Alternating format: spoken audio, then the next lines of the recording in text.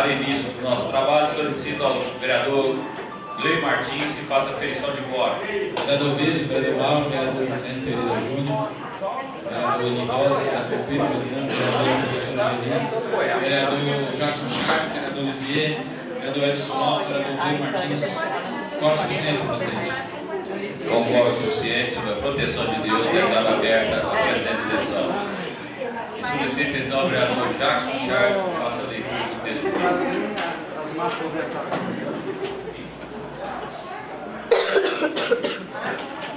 A ti, Senhor, levanto a minha alma. Deus meu, em ti confio. Não me deixes confundido, nem que os inimigos triunfem sobre mim. Na verdade, não serão confundidos os que esperam em ti. Confundidos serão os que transgridem sem causa. Fazei, fazei-me fazer os teus caminhos, Senhor. Ensina-me as tuas veredas, guia-me na tua verdade e ensina-me, pois tu és o Deus da minha salvação. Por ti estou esperando todo dia. Salmo 25. Sabe o jeito que o cara deixa cocaína? Acabou? E a menina que jogou na esteja na Isso aí é E a cocaína, tá deferência do bom? vereador Jackson Não, Charles, não, especialidade do dia. Ah, eu não. Alguns convidados agora estão comemorações No banheiro não. natalícias. Colega.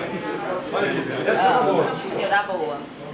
Na continuidade dos trabalhos, solicito ao vereador Edson Lopes que faça a leitura sintética da ata da sessão anterior, bem das correspondências e projetos que serão encaminhados Pra limpar.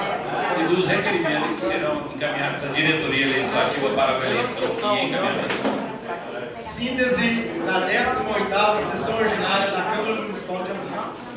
Aos 22 dias do mês de março de 2016, às 9 horas e 30 minutos, reuniu-se em sessão ordinária da Câmara Municipal de Anápolis. Isso é bom pra você, mas você é menor.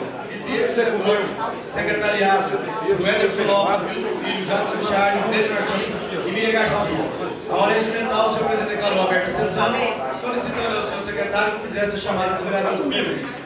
Fica expediente, o senhor presidente, a leitura da citata no dia anterior. A ata completa foi colocada à disposição dos senhores vereadores. Foi feita a leitura dos projetos de lei encaminhados às comissões e de requerimentos enviados à diretoria legislativa. Usar a palavra os vereadores Mauro Severiano, Miriam Garcia e Glei Martins. No grande expediente, usar a palavra os vereadores Alfredo Landim, Pastor Vilmar Silvestre, o Ederson Lopes, Jackson Chagas, Jean Carlos e Sargento Pereira Júnior. Na ordem do dia, a votação de projetos. Nada mais havia a ser tratado, o presidente declarou encerrada a presente reunião, marcando-se outro para o dia 4 de abril, às 9 horas e 30 minutos. Leitura de projetos. Projeto do vereador Eli Rosa, que dispõe sobre a obrigatoriedade de colocar em redes de proteção as varandas, sacadas e janelas de edifícios verticais do nosso município. Projeto de autoria do vereador Paulo de Lito, que dispõe sobre a concessão de outorga de título de cidadania napolina ao vereador Weber Barbosa de Oliveira e determina outras providências. Leitura de correspondência. Correspondência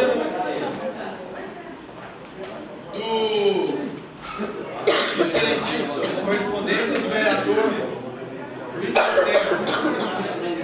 Ao cumprimentar Vossa Excelência, comunico o meu retorno à Câmara Municipal de Anápolis para reintegrar, reingressar, a partir do dia 28 de março de 2016, no cargo de vereador, do qual estive licenciado desde 2015 para o exercício do cargo de secretário municipal de Assuntos Parlamentares na Prefeitura Municipal de Anápolis.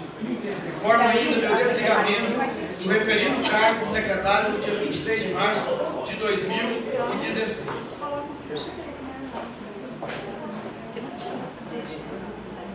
Comunicado do gabinete do vereador Fernando de Almeida Cunha. Vereador Fernando de Almeida Cunha, vereador com assento nessa Casa de Leis, vem com todo respeito e acatamento à presença de Vossa Excelência, com arrimo nos artigos 20, no artigo 26, inciso 3 da Lei Orgânica do Município de Anápolis, requerer licença do cargo de vereador pelo, pe- pelo, pelo período de 120 dias, a partir do dia 1 de abril de 2016.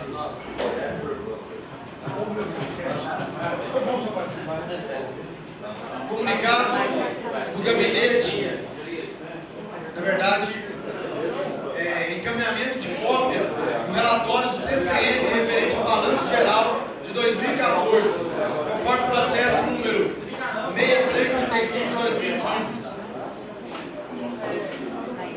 Da Câmara Municipal. Leitura de requerimentos. Requerimento.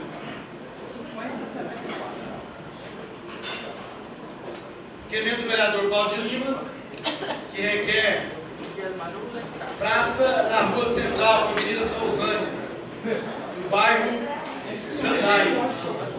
Requerimento do vereador Paulo de Lima sobre Santa Buraco em toda a extensão da rua Nova Capital. Requerimento do vereador Paulo de Lima solicitando sinalização na Avenida Nair Xavier de Almeida, com a Avenida Tiradentes. Requerimento do vereador Paulo de Lima solicitando uma praça na Avenida São Paulo, bairro São João. Requerimento do vereador Fernando Laís solicitando ponto de ônibus no distrito de João Nápoles. Requerimento do vereador professor Geli solicitando reforma da Escola Municipal Deputado Parte Lourdes. Requerimento do vereador Sargento Alberto solicitando a buraco de extensão da Avenida Palmeiras, Vila Sul. Requerimento do vereador Sargento Alberto solicitando poste de energia elétrica, reposição de lâmpadas, postes de energia elétrica na Praça JK, Praia, na parte que fica alocado os quiosques, a JK. Requerimento do vereador Sargento Alberto solicitando tapa buraco em toda a extensão do setor São Berlim. Requerimento do vereador Sargento Alberto solicitando buraco em toda a extensão do Parque Tesouro. Requerimento do vereador Sargento Alberto solicitando buraco na rua Satélite, Parque Tesouro. Requerimento do vereador Amigo Filho solicitando serviço de tapa buraco na rua Tabajara, Jardim da Chitrinha. Requerimento do vereador professor Angeli solicitando sinalização da rua, das ruas da, da Vila Sul. Requerimento do vereador Vespa solicitando tapa buraco na rua Vidor, Parque São João. Requerimento do vereador solicitando refração de Boca de Lobo, na Avenida Brasília, Parque São João. Requerimento do vereador Paulo de Lima, solicitando cascalhamento residencial Chácara Boa Vista. Requerimento do vereador Paulo de Lima, solicitando uma quadra na Escola Municipal Valdir Cecílio, povo- povoado de Bramápolis. Requerimento do vereador Pastor Vilmar Silvestre, solicitando troca de lâmpadas na Avenida Brasil, entre a Avenida Goiás e Rua Barão do Rio Branco. Requerimento do vereador Pastor Vilmar Silvestre, solicitando patrulhamento e cascalhamento dos distritos de Interlândia. Requerimento do vereador Pastor Vilmar Silvestre solicitando tapa-buraco na rua Copa 24, Copacabana. Requerimento do vereador Pastor Vilmar Silvestre solicitando tapa-buraco na Nova Vila Adriana Parque, Nova Vila Jaiara, setor Escala, em Anápolis. Requerimento do vereador Paulo de Lima solicitando retirada de entulho na rua P28, Jardim Progresso. Requerimento do vereador Paulo de Lima solicitando Requerimento do vereador Paulo de Lima solicitando Ah, é uma moção de pesar. Mas está faltando as assinaturas. Geli. O Marrolo resolveu, vai falar amém, você mês. Requerimento do vereador Cinco você. Paulo de Lima solicitando que seja implantada uma rotatória na rua 14 de julho, setor central. Requerimento do vereador Lisier José Borges solicitando serviço tapa-buraco na rua Romilda Soares, Vila São Jorge. Requerimento do vereador Lisier José Borges solicitando tapa-buraco na extensão da rua A, bairro São Jorge. Requerimento do vereador, vereadora professora Geli, solicitando calçamento em toda a extensão do posto presidente à Vila São Vicente. São esses os requerimentos, senhor presidente. Devolvo a palavra.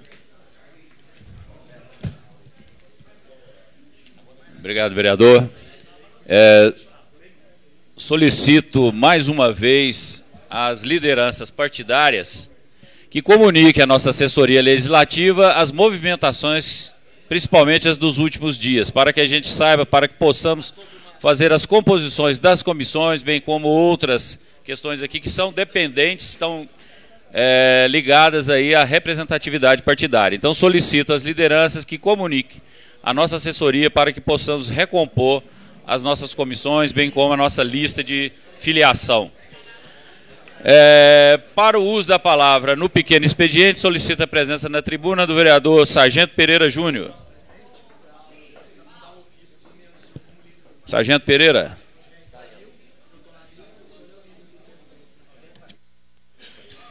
Obrigado, novo presidente, demais vereadores. Quero saudar aqui é, o nobre vereador Jackson Chaves, aniversariante de, do dia de hoje, em nome dele, saudar os demais vereadores. Imprensa presente, telespectadores do Canal 5, tenham todos um bom dia. É, o que me faz é, fazer uso da tribuna, quero também saudar e parabenizar pela, pela volta o nobre vereador Luiz de Santo Lacerda. É, o momento da, da tribuna hoje, fazendo uso da palavra nessa tribuna no dia de hoje, é para falar a respeito do transporte coletivo da nossa cidade. Todos nós sabemos que foi assinado na última sexta-feira um decreto que aumenta o valor da tarifa do transporte coletivo de R$ 2,50 para R$ reais.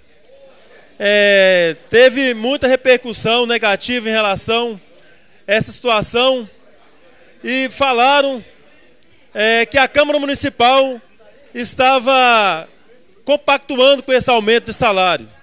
Gostaria de falar para a população que estão nos ouvindo, os demais vereadores, que a Câmara Municipal ela não tem prerrogativa em relação ao decreto.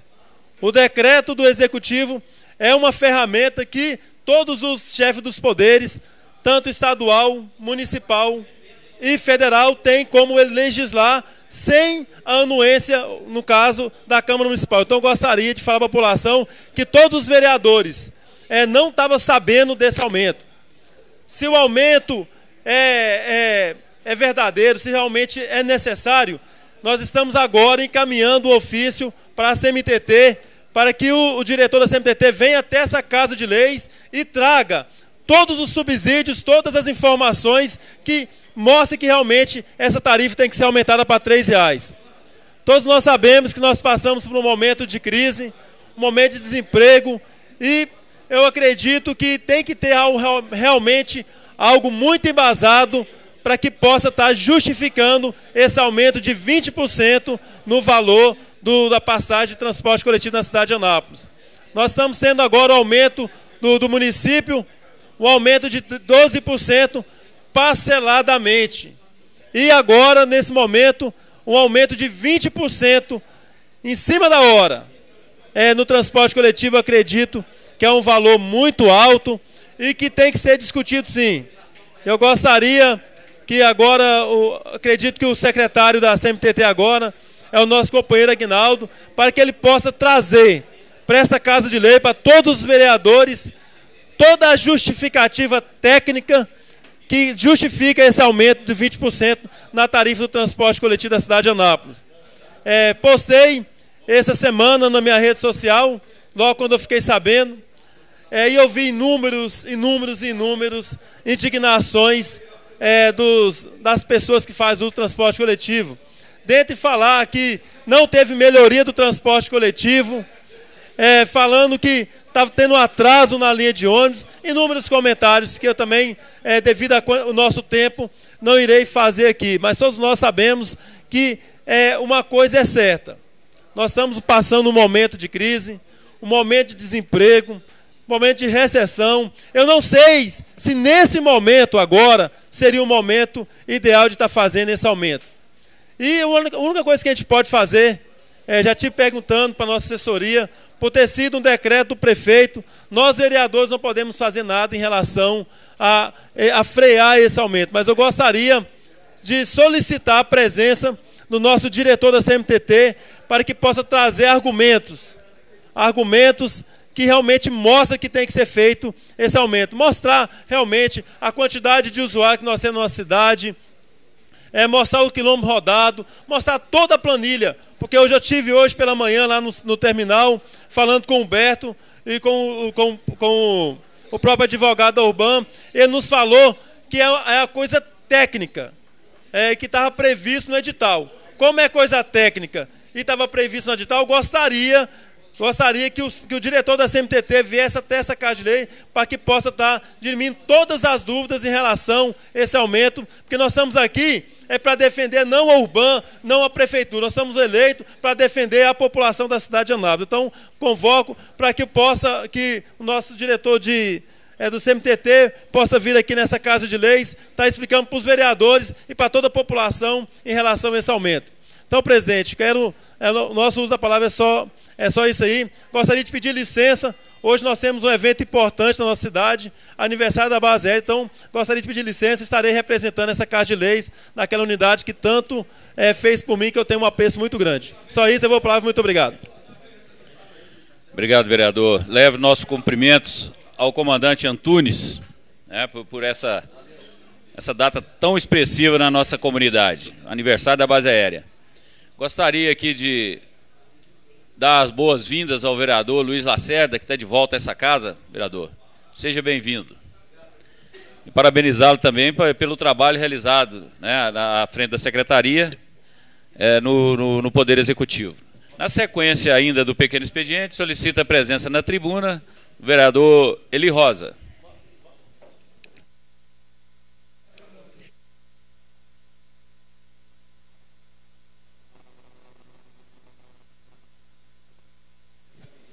Bom dia, senhor presidente. Bom dia, colegas vereadores e vereadoras, imprensa aqui presente.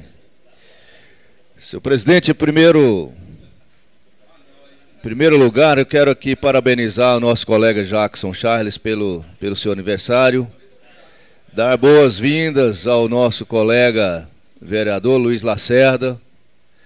Seja bem-vindo em nosso meio, Luiz Lacerda. Senhor presidente, nós que somos agentes políticos, nós precisamos nos envolver. Essa casa de leis, a prefeitura, o Estado, para mim não é surpresa, mas aumenta muito a minha preocupação em relação à oferta de água na nossa cidade. Nós temos falado disso aqui de forma miúde, de forma intensa, e agora nós estamos aproximando aí do período não chuvoso, e agora sim a própria Saneago dá dar o entendimento que nós estávamos com a razão. Digo isso porque é necessário, Vespa, claro e notório para todos nós, é necessário que nós tenhamos uma caixa d'água, nós tenhamos um reservamento de água. E essa água agora deixa aqui claro para todos nós que a nossa cidade perdeu a capacidade de expansão. Não se pode mais construir é, conjunto habitacionais com, maior, com um número maior de 20 unidades, porque não tem água para dar garantia a essa expansão, para dar garantia de moradia, garantia para os empreendedores. Inclusive, há quem diz, desses empreendedores, uns já estão querendo é plantar soja, né? porque eu entendo que o plantio de soja é importante. É, mas aqui no Brasil nós precisamos repensar essa questão da expansão da, da lavoura de soja, porque nós estamos atendendo a demanda de outros países, demanda de produção agrícola, inclusive de outros países, e o nosso Brasil está sendo destruído com a expansão da soja. E para contribuir com essa expansão, alguns dos nossos investidores na área de, de construção civil aqui no nosso município diz que vai é, plantar soja porque Anápolis perdeu a capacidade de abrigar esses empresários, perdeu a capacidade de abrigar moradores e perdeu a capacidade de trazer empresas para gerar emprego, empresas para gerar renda. Então nós temos falado aqui de forma muito, muito preocupante dessa questão. Temos reunido com, a, com a, os, os, os líderes ali da Bacia do Piancó, que é da Associação de Produtores da Bacia do Piancó, temos chamado o próprio governador para essa conversa, no sentido de abrir a parceria dessa casa, parceria, novamente repito, de todos nós que temos a capacidade e o dever, temos a missão, temos a obrigação de deixar todas as suas particularidades, seu, seus pensamentos, suas diferenças políticas e unir forças no sentido de que Anápolis não pague a pena de ser bloqueada, de ser estagnada no seu crescimento e na sua expansão. Inclusive, Vilmar Silvestre, fala-se fala tanto na expansão, na expansão urbana. Como que teremos expansão urbana em Anápolis se não temos água? Até pouco tempo a, a doutora Tânia dizia com todas, com todas as a, a, convicções que Anápolis não precisa ter represa, não precisa ter reservação de água. E agora vem aqui a própria Saneago fazer essa denúncia gravíssima, deixando toda a parte de, de, de, dos empresários, a parte da, da, das pessoas, por parte de todas as pessoas que vêm investir no nosso município, pensar no seu futuro no nosso município, o travamento da expansão urbana do nosso município. Obrigado, devolvo a palavra, senhor presidente.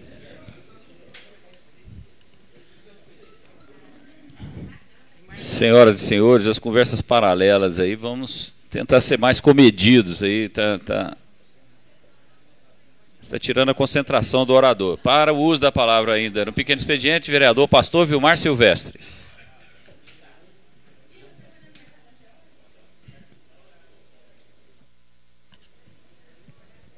Bom dia, senhor presidente, demais membros da mesa, senhoras e senhores vereadores, as pessoas que nos acompanham nesta manhã. Bom dia a todos. Inicialmente, senhor presidente, eu quero dar boas-vindas ao vereador Luiz Lacerda. Seja bem-vindo, essa é a tua casa. A sua presença nos alegra muito. Você é um verdadeiro companheiro. Seja bem-vindo. Senhor presidente, use esse microfone nesta manhã, senhor presidente, para chamar a atenção da Secretaria de Obras sobre o bairro Morumbi. Eu estive ontem fazendo uma visita no Morumbi, vereador Eli. É, Eli. Olha, eu não tirei fotografia na hora porque meu celular estava descarregado. As pessoas trabalhando ontem lá no Morumbi, com carrinho de mão, carregando terra para tampar os buracos, para ter acesso às suas casas. Então eu gostaria de pedir ao, ao Leonardo, se não tem como fazer asfalto agora, se não tem como fazer asfalto agora, então que pelo menos joga lá um cascalho, faz um patrulhamento para minimizar a situação, vereador Mauro, no bairro Morumbi. Olha, é um bairro que tem uma descida muito grande, ruas muito escorrida, e ali as pessoas ontem com carrinho de mão fazendo serviço de tapa-buraco naquela região. E com certeza muitos outros. Sei, vereador Jackson, que o, a prefeitura está fazendo um grande trabalho de tapa-buraco.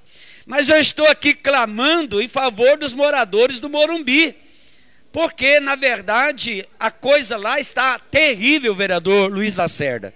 Sabemos que a equipe tapa buracos, enfim, está fazendo, mas lá, lá é o serviço de tapa buraco, lá é com cascalho, porque não tem asfalto. O asfalto era muito fraco e a chuva destruiu todo o asfalto e agora tem buracos. Então, estou clamando em favor dos, dos moradores do Morumbi, que pelo menos passa ali a patrola, joga um cascalho, faça ali alguns quebra-molas, para que as pessoas possam ter até acesso à sua casa. Senhor presidente, também quero falar sobre a zona rural. Estive visitando algumas propriedades rurais no distrito de Sousânia e de Interlândia. Nós queremos também fazer um pedido ao secretário, sabemos que ainda está no período de, de é, chuvoso, mas está quase terminando, que olhasse para os distritos, não só para as principais estradas vicinais, que é onde passa os ônibus escolares, enfim, mas os galhos também. Porque tem propriedades, vereador Jacos, que são produtores de hortaliças, de banana e o caminhão não tem, acesso, não tem como ter acesso às hortas, porque os galhos estão todos cheios de buraco e está realmente uma situação complicada. Então fica aqui o nosso pedido ao Leonardo, né, sempre tem nos atendido. O ano passado fez um excelente trabalho nos distritos, mas já está na hora de novamente voltar ali a, a equipe para trabalhar as estradas ali na região de Sousana, Interlândia e também de todos os demais distritos, todos estão realmente carentes de uma atenção especial no conserto, no encascalhamento das estradas. Senhor presidente, é isso, muito obrigado, devolvo a palavra. É, finalizando o uso da palavra no pequeno expediente, vereadora Miriam Garcia.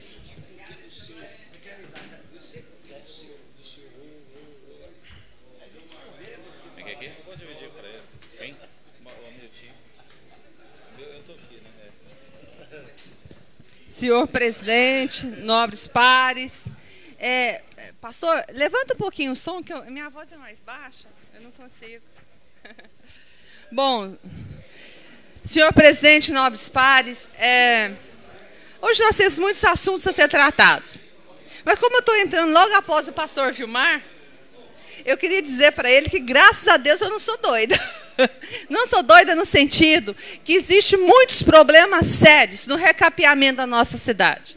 Vossa Excelência hoje usou essa tribuna para falar dos buracos do Morumbi. Nós estamos usando essa tribuna desde o primeiro dia dos problemas que ocorrem em nossa cidade. Tem existido soluções paliativas? Tem. Tudo bem. Eu quero até agradecer ao secretário de Obras, doutor Leonardo, sobre aquele problema da, daquele bar do Jardim Progresso com Vila Bela.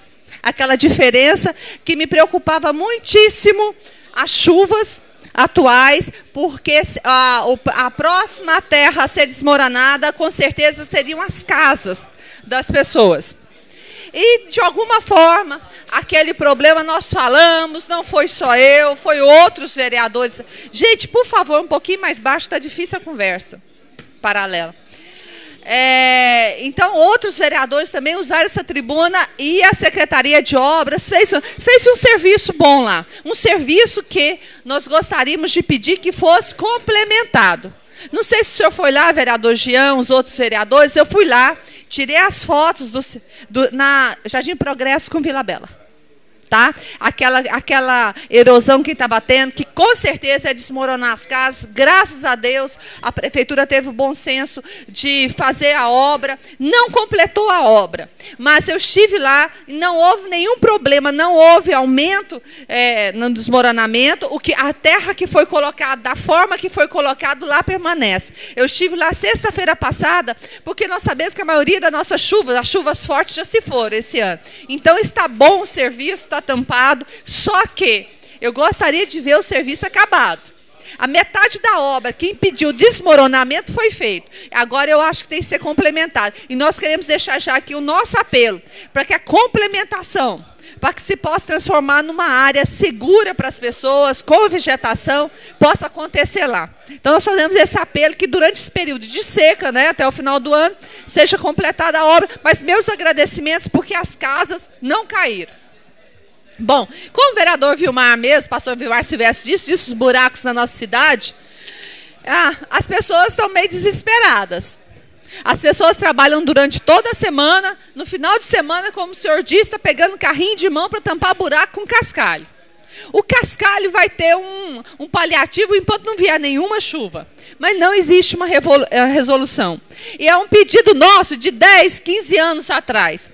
As frentes de, obra de, de obras de serviço de nossa cidade, elas já permanecem nesse número há mais de 15 anos. Elas não são mais suficientes. Não adianta o senhor ter cinco frentes de trabalho numa cidade do tamanho de Anápolis. Tem que haver uma multiplicação dessas frentes de trabalho, principalmente na saída do período chuvoso.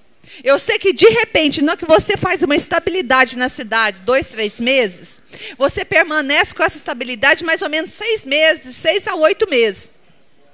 Então, que logo agora, no mês de maio, no mês de abril, no mês de maio, possa acontecer uma multiplicação dessas frentes de serviço, mesmo que elas sejam diminuídas depois da resolução dos maiores problemas. É, eu acho também, doutora Dinamelli, umas seis frentes, umas oito frentes, principalmente agora, no mês de abril, no mês de maio. Aí vai resolver a maioria dos problemas e continuar o seu trabalho durante todo o ano. Aí pode diminuir e continuar o seu trabalho durante todo o ano. Então, nós queremos fazer um apelo a esse respeito. E eu queria, é, eu, na verdade, quando for usar pra, a palavra, minha palavra está acabando, eu ia começar agradecendo ao vereador Hamilton Filho, que foi para o PSDB, mas gentilmente nos avisou da sua saída antes que os meios de comunicação o fizessem. O vereador Hamilton Filho me ligou. Muito obrigada pela gentileza, vereador. Desejo muito sucesso ao senhor no Solidariedade. Eu acho que é um partido muito digno e vai ser presidido por um jovem. Eu acho que a Solidariedade teve muito a ganhar. Que o senhor faça uma boa gestão e nunca se esqueça: o objetivo da nossa vida pública é tentar amenizar, ajudar a população que nos elege. É estar sempre de mãos abertas e portas abertas à nossa população. Tenho certeza que o senhor vai fazer um excelente trabalho. Obrigada pela gentileza que o senhor teve, nos avisando, me ligando, telefonando. Muito obrigada por essa gentileza. E todos aqueles que fazem parte de novos partidos, que Deus abençoe o caminho de cada um e que nós saibamos, aqueles que pretendem disputar a eleição dia, dia 2 de maio, o Senhor sabe aonde aqueles que vão ter vitória ou não, mas que tenham um bom sucesso, uma boa jornada. Parabenizar também o vereador Luiz Lacerda, que retorna a essa casa. Seja bem-vindo, vereador? Embora estejamos em partidos opostos, a sua presença muito nos agrada. O senhor é uma pessoa muito gentil e um excelente vereador aqui. Desempenha muito bem o seu papel. Muito obrigado. Após encerrado o uso da palavra no pequeno expediente, iniciamos o grande expediente. Convido para o uso da palavra na tribuna o vereador Pedro Mariano, que ingressou nesse, nessa última semana no Partido Republicano Progressista, PRP. Senhor presidente, bom dia, bom dia aos novos colegas vereadores, bom dia aos novos colegas vereadores, professor Geli, doutor Dinaméria, vereador Miri Garcia. Quero cumprimentar a Alessandra, lá do bairro São Joaquim, está aqui visitando nossa casa de lei hoje. O José Mário assessor, o meu chefe de gabinete está aqui também, está ali resolvendo o problema. Senhor presidente, o motivo que eu trago aqui é. Eu hoje é, não pertence mais à família do PP, né? Sai assim, por outros motivos, eu tive de sair do Partido Progressista, partido que eu li condiz 11 anos na história dentro do PP. É, por motivo é onde que o partido não, por esses tempos, não conseguiu estruturar, estava estruturando através do então hoje vice-governador Zé Hérito, mas na ida dele para o PSDB, aquela base que estava construindo aqui na cidade de Anápolis, é, por motivo óbvio, também a base acompanha, né? E aí tinha muito pré-candidato, que nós ia ter um, um pré-candidato dentro do PP a prefeito. Mas devido a essas desarticulações que teve, em política você faz com articulação. Quando faz desarticulação, o partido vai descendo ladeira abaixo. Infelizmente aconteceu no PP, é, teve pessoas que eu muito respeito lá, Luiz Medeiros, que já esteve por lá também, Mozart Soares já esteve por lá, João Feitosa, companheiro de partido também, esteve por lá, o próprio Pedro Canedo, e uma pessoa que eu faço uma referência muito grande, era o finado Wagner Dá. O Wagner era a vida do partido aqui na cidade de Anápolis, em todo sentido. O Wagner que tinha um amor muito grande pelo PP, mas infelizmente hoje ele não pertence a esse mundo, pertence a outro mundo. E foi esses motivos, foi acontecendo. E o problema também da minha votação, mais do João Feitosa na eleição de 2012, afastar muito o pré-candidato. Achar melhor ir para outra agremiação que não tinha Pedro Mariano no roto do PP, né, que não tinha o próprio João Feitosa mesmo. Vocês acompanharam. E nessa demanda de eu buscando outros partidos, as portas estavam sempre fechadas. Mas eu acho que foi algo de Deus que, me, que aconteceu na minha vida, Jacques. Quando, numa quarta-feira, antes do dia 18, na véspera, o vereador, o ex-vereador Mar Jacob, acima de tudo, meu amigo, me liga querendo conversar comigo. Pedrão, eu tenho uma solução para você. E eu estava naquele momento, minha mulher saindo para a comunidade do Senhor Jesus Naiote. Ela falou: deve ser algo bom, Pedro. E quando eu cheguei, ele estava me aguardando no gabinete, aonde que ele foi o articulador, a ponte entre eu estar tá hoje, a partir de hoje nessa casa, o Partido Republicano Progressista entrou só mais uma letra na, entre dois P, né? É o republicano. É o estilo meu ser republicano nessa casa, né? É a maneira de eu fazer minha política, sempre fui republicano dentro dessa casa. E eu acho que hoje condiz é o partido que eu estou nele, é o Partido Republicano Progressista, né? Então, a, a, maneira de eu lidar com uma política. Eu acho que a política a gente faz é, com, é dialogando e conversando em alto pelo interesse da população. E esse partido hoje tem vida aqui na cidade de Anápolis, o PRP. Infelizmente o PP não vai estar com a representação aqui, que eu fico muito sentido. Você, sinceramente, de coração, fico sentido. Mas um processo eleitoral, você, eu, eu acho que lá tem uma sala de comissão lá, era melhor dos nove colegas que estão tá conversando lá fora, é melhor. Porque acho que está sendo transmitindo e está pegando. Uma parte, tem um vereador. respeito. Converse, de, discute lá. Uma parte, acho vereador. A tribuna deve respeitar. Uma parte, vereador Pedro Mariano. Uma parte a Vossa Excelência, vereador. Vereador Pedro Mariano, eu não poderia deixar de usar a sua fala para fazer uma observação importante. É, no que pese o respeito e, e, a consideração que eu tenho por todos os companheiros, inclusive Vossa Senhoria, que está procurando um lugar ao sol, um partido onde o senhor possa lutar pelos seus ideais, eu tenho que aqui ser sincero com a população anapolina e com o Brasil como todo. A instituição partidária, vereador Lacerda, está falida no país. Quando você vê as vésperas de uma eleição, esse samba de vai para cá, vai para lá, vai para cá, vai para lá, é porque partido não está valendo nada no Brasil. Esses caciques dos partidos brasileiros tinham que ter vergonha na cara e valorizar as pessoas, valorizar pessoas sérias, como o vereador Pedro Mariano, valorizar pessoas sérias, como várias outras pessoas, que não têm lugar, que ficam ao léu, como, como pessoas bastardas, querendo defender uma sigla partidária que não merece nenhum respeito. Já não dá mais, nós temos que deixar claro para o povo. O povo não está votando nem porcaria de partido nenhum, não. O povo está votando é no candidato. E isso nós temos que levar, vereador Lacerda, isso para avaliar nas próximas eleições. Você vê aí, Partido Populista, populista, né, que isso era? Partido Progressista. Partido Progressista. A gente vê N outros partidos. O, o vereador Hamilton também resolveu re retornar para o seu partido. E assim são vários vereadores. Por quê? Porque não estão tendo apoio dos partidos pelos quais eles os defendiam. E hoje são obrigados a buscar um lugar ao sol para defender uma outra sigla.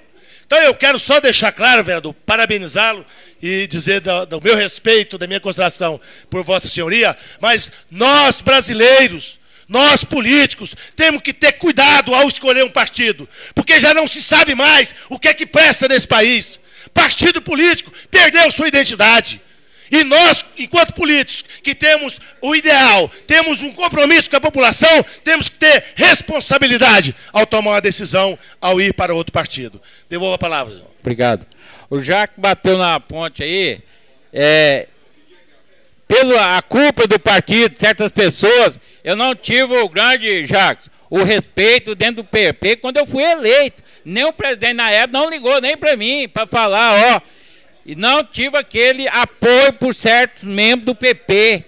Não aqui em Anápolis, mas em Goiânia e nível federal. E quando eu tive indo para o PRP, ou Vasco, o nome é, eu fiquei meio complicado, ou Vasco, que é o presidente nacional do PRP, me ligou, parabenizando, vereador, parabéns, Vossa Excelência, vindo aqui para o partido. Então eu já fui recebido com aquela alegria. E acaso, quando a gente é convidado num lugar que a gente chega, que todo mundo ri abraça, é um bom sinal, é bom que a gente está chegando para somar. E eu vim para o partido para não ser o sinal de menos, mas o sinal de mais. Um mais um é dois. Eu vim para somar, certo? E o partido deu essa abertura. E também eu quero, terminando aqui, presidente, quero agradecer aqui os certos vereadores, o vereador Mauro José Severiano, o vereador Luiz Lacerda, o vereador Hamilton Batista, o vereador Paulinho, né? o vereador Jean, o próprio vereador Jacques também estava falando nesse momento, e teve essa preocupação para onde eu estava. Mas a própria Dinamé um dia me cercou ali, preocupado, a, a, a presidente, a Geli, o próprio Eli Rosa tentou levar o PMDB, mas ele teve a atitude bonita de, de Vossa Excelência, presidente, tem que ouvir a maioria. A maioria manda. Eu acho que a gente não pode ser ditador. E outros já me falavam não. Mas o Jean tentou levar o PTB também, nós, nós não teve sucesso. Então outros partidos aí, no próprio PSDB, não teve sucesso eu ir para lá em antes da afiliação do Carlos Antônio. Então, é, outros partidos tentaram, mas a maioria fala e a gente, a maioria vence. Então a gente tem que respeitar. E sempre eu pus isso. Na festa, que a gente não é convidado, não é bom a gente ir, porque todo mundo vai ver a gente mal visto. Mas quando uma festa a gente é convidado, a gente é bem visto. E sempre foi essa conversação minha com outros grandes partidos do município de Anápolis.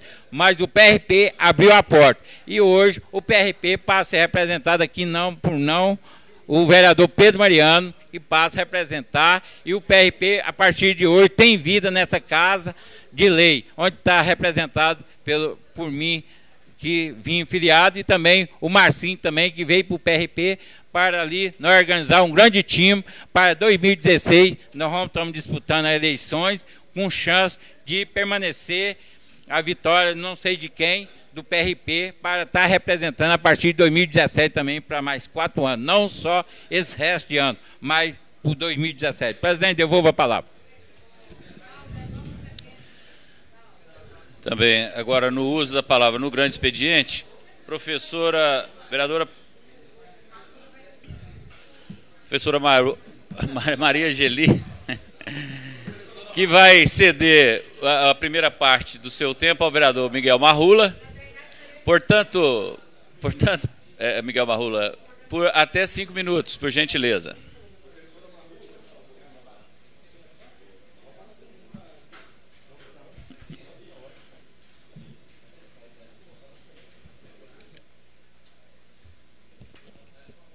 Bom dia, senhor presidente, colegas vereadores que compõem a mesa, imprensa e convidados aqui presentes. Senhor presidente, mais uma vez fica em minhas palavras o repúdio sobre todas as vezes que sou criticado quando falo em decretos aqui. Eu quero perguntar para os colegas vereadores que estão aqui presentes também sobre mais um decreto que foi feito em fevereiro, na época do carnaval, pelo senhor prefeito municipal de Anápolis, se alguém aqui tem conhecimento desse decreto, que até o momento eu não tinha. E se alguém tiver acesso a esse decreto, os microfones aqui estão abertos para debates. No dia 5 de fevereiro de 2016, o Poder Executivo entrou com mais um decreto sobre a taxa de iluminação pública em Anápolis. E mais uma vez, estou solicitando à Prefeitura a cópia do decreto e os devidos documentos que comprovem este valor da CIP de capa a capa. Caros colegas, eu uso a tribuna mais uma vez a fim de dar publicidade à minha luta incessante na fiscalização da legalidade dos atos praticados pelo Poder Executivo Municipal. Dessa vez me atenho ao fato novamente no aumento da taxa de iluminação pública. Só que dessa vez outro decreto editado no mês de fevereiro deste ano, sem nenhuma comunicação a essa casa. Isso é uma falta de respeito com nós vereadores. Para que, que existe vereador se decreta, o prefeito faz o que quer e fica por isso mesmo? O que causa muita estranheza. Aliás, não houve aumento.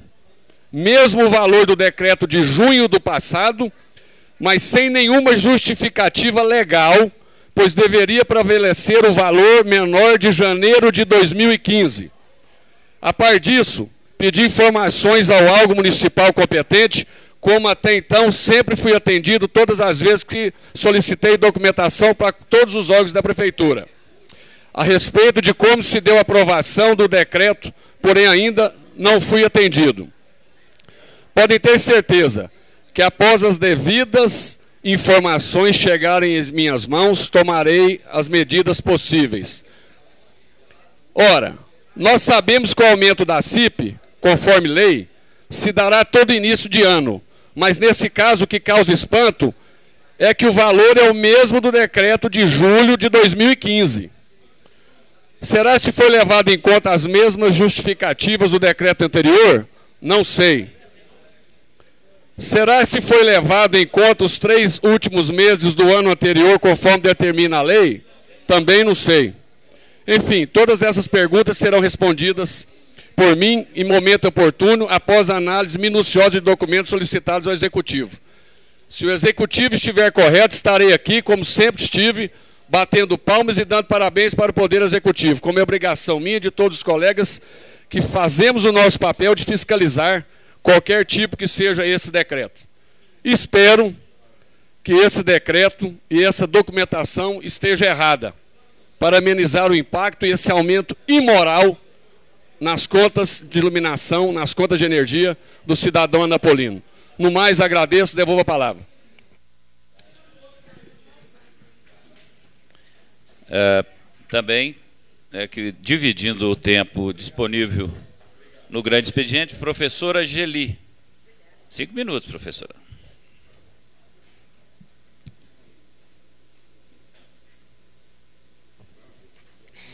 Senhor presidente, mesa diretiva, quero cumprimentar o nobre vereador Jackson Charles, que está completando mais, um aniversário, mais uma data natalícia, né? Que Deus abençoe, que Deus possa renovar suas forças e, como já te disse, que as bênçãos dele sejam sobre a sua vida, fazendo de você cada dia uma pessoa melhor. É o que nós precisamos todos os dias. Quero, nessa manhã, senhor presidente, primeiramente, é, desejar boas-vindas ao nosso nobre colega Luiz Lacerda. É, e dizer que, sem dúvida nenhuma, você fez um excelente trabalho, sim, à frente da secretaria, e nós temos que parabenizá-lo pelo seu empenho, estar ali é, trabalhando junto também a essa casa, mas trabalhando junto ao prefeito João Gomes, é, com projetos que, sem dúvida nenhuma, transformam a nossa cidade a cada dia. Parabéns e que você possa, ah, agora sim, novamente aqui nessa casa, desempenhar o seu trabalho de excelência, como você tem feito ao longo desses anos. E quero também, parabenizando o retorno do nosso colega é, Luiz Lacerda, também agradecer mais uma vez o nosso colega Alfredo Landim, que esteve aqui durante todo esse período, e agora não é mais um vereador aqui na casa, mas é um vereador na rua.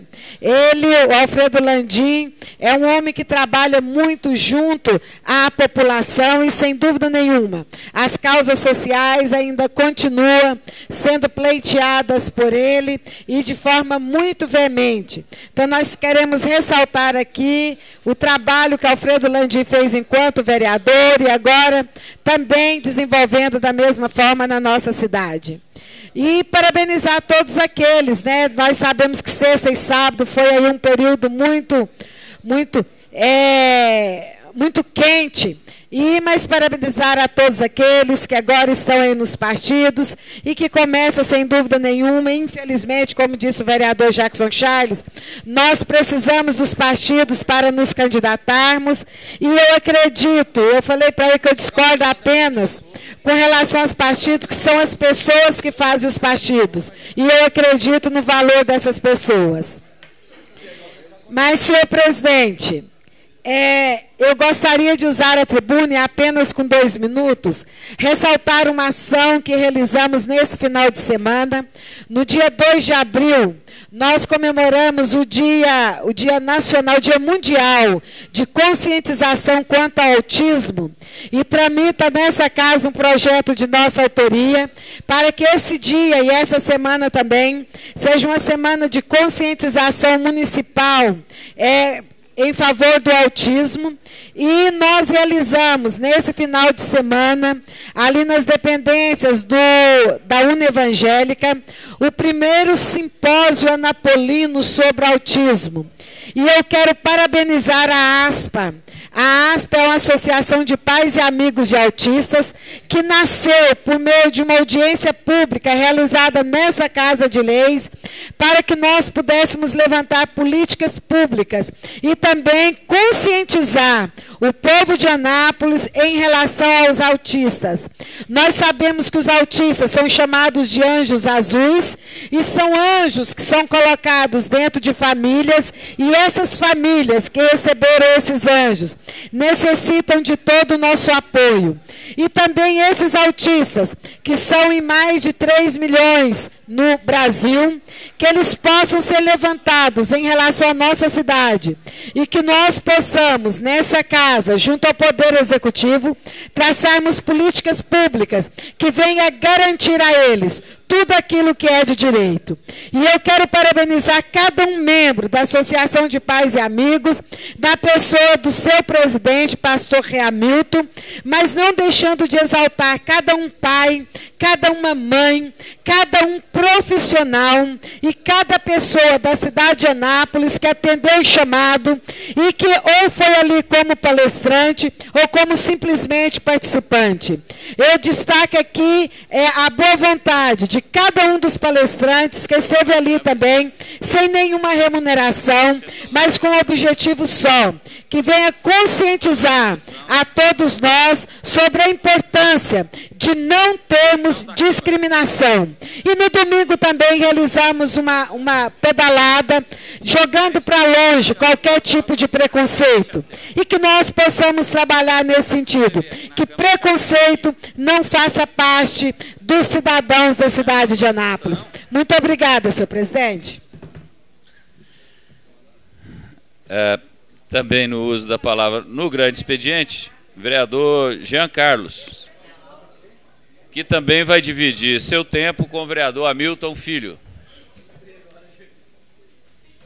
Portanto, vereador Jean, cinco minutos, por gentileza. Obrigado, presidente Eliseu. Cumprimento Vossa Excelência em nome de Vossa Excelência todos os pares.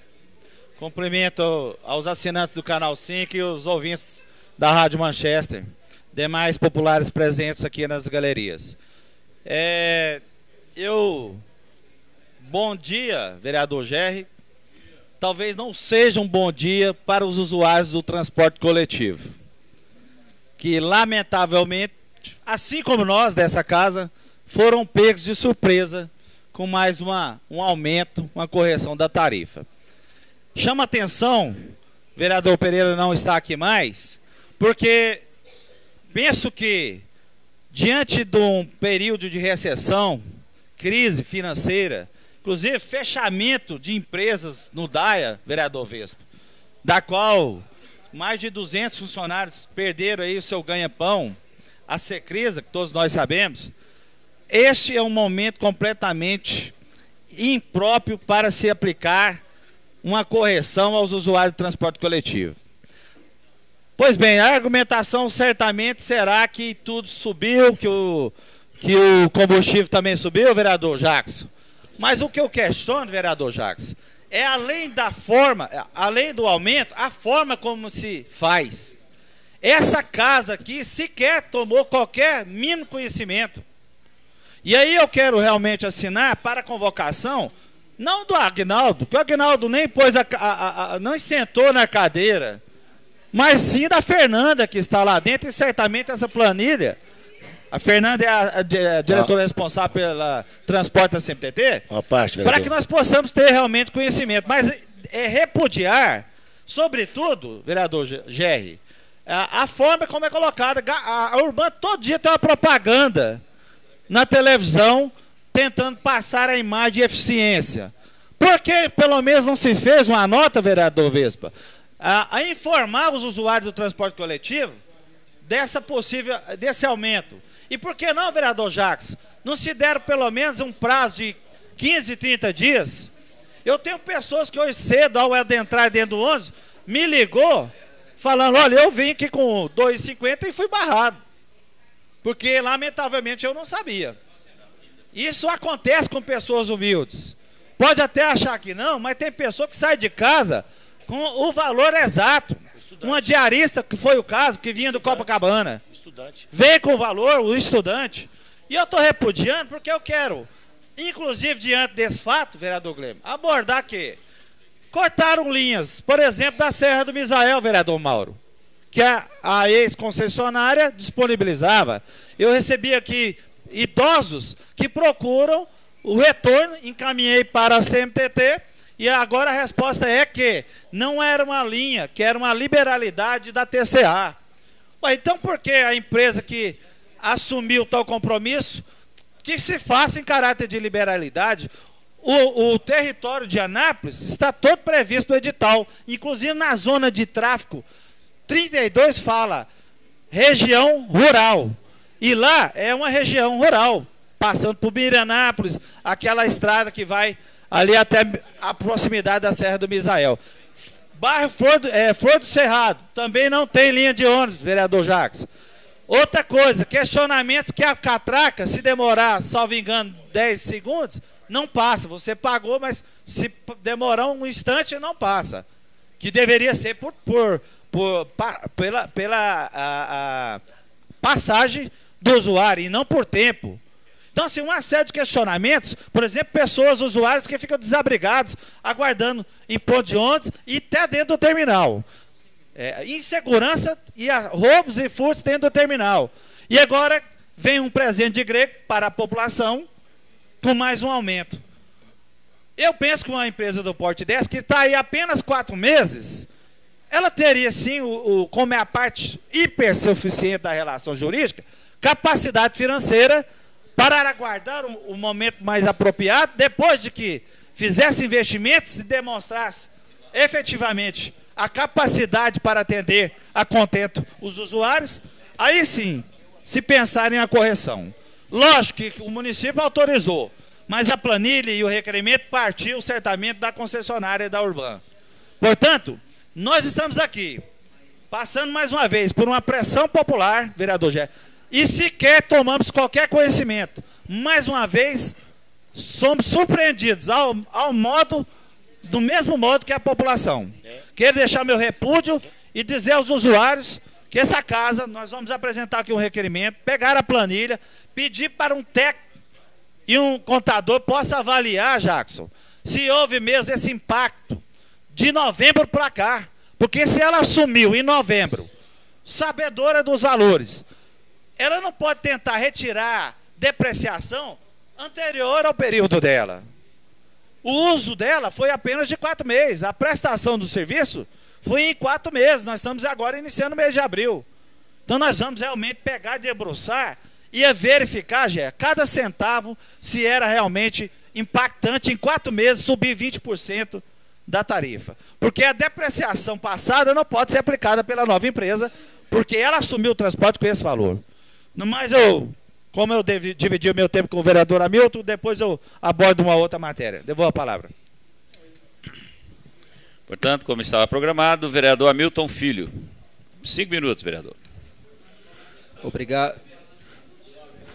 É, bom dia, senhor presidente. Obrigado, vereador Jean Carlos, pela sessão do tempo. Cumprimento todos os senhores seus vereadores, toda a imprensa que nos acompanha, toda a, todos aqueles que nos assistem, nos escutam nessa manhã. Seu, Pastor Valdir, acho que o som está tá baixo, parece. Todos aqueles que nos assistem, nos escutam. Senhor presidente, eu venho aqui é, fazer uma, uma prestação de contas sobre esse, esse, esses dias que, que, que passaram, sobre essa questão eleitoral que nós passamos.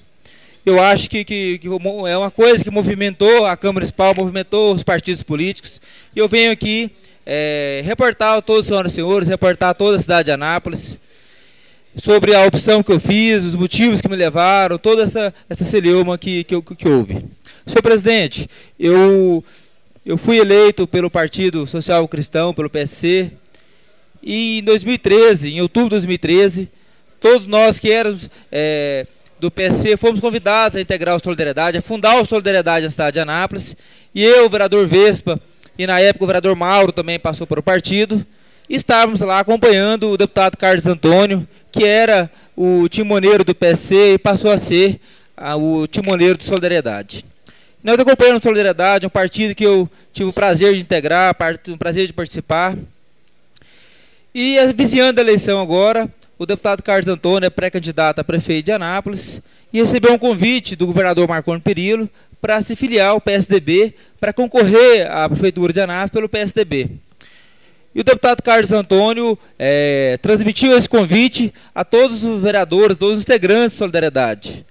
Nessa oportunidade, os vereadores Vespa, Maurão e Pedrinho Porto Rico, e assim como eu no primeiro instante, é, achamos que, que, poderia ser um caminho. O vereador Vespa, o vereador Mauro o Pedrinho filiaram-se definitivamente ao, ao, PSDB. E eu, é, em que pese ter um carinho grande pelo deputado Carlos Antônio, ficar honrado pelo convite também, a minha, a mim feito pelo governador Marconi. Eu, que no primeiro momento até confesso que, que ponderei essa situação, eu tive que fazer um, um referendo com a minha base eleitoral, avaliar essa situação. E eu represento um grupo político que tem um projeto político na cidade de Anápolis. Nós temos um projeto político agora da reeleição e temos também um projeto político em que, que passa pela, pela campanha de 2018. Eu pretendo, em 2018, ser candidato a deputado estadual. Eu entendo que no PSDB esse sonho, essa vontade ficaria inviabilizada em decorrência do PSDB ter hoje 12 deputados estaduais eleitos. E minha base eleitoral também, ela muito grande parte dos meus apoiadores, da minha, da minha família, dos meus amigos, não referendaram, não anuíram com essa opção de filiar o PSDB. Nós fomos de, de um grupo político que tem uma orientação ideológica de centro-esquerda, e o PSDB é, é, um partido de direita.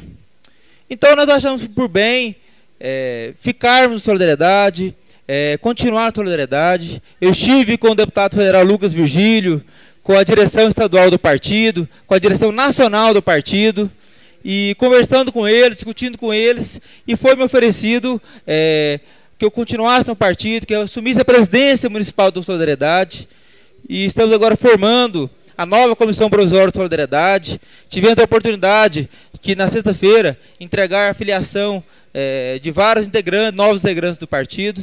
E eu quero aqui aproveitar os microfones da Câmara, aproveitar os microfones da Rádio São Francisco, externar meu agradecimento aos companheiros do Solidariedade que foram para o PSDB, o vereador Vespa, o vereador Mauro, o vereador Pedrinho Porto Rico.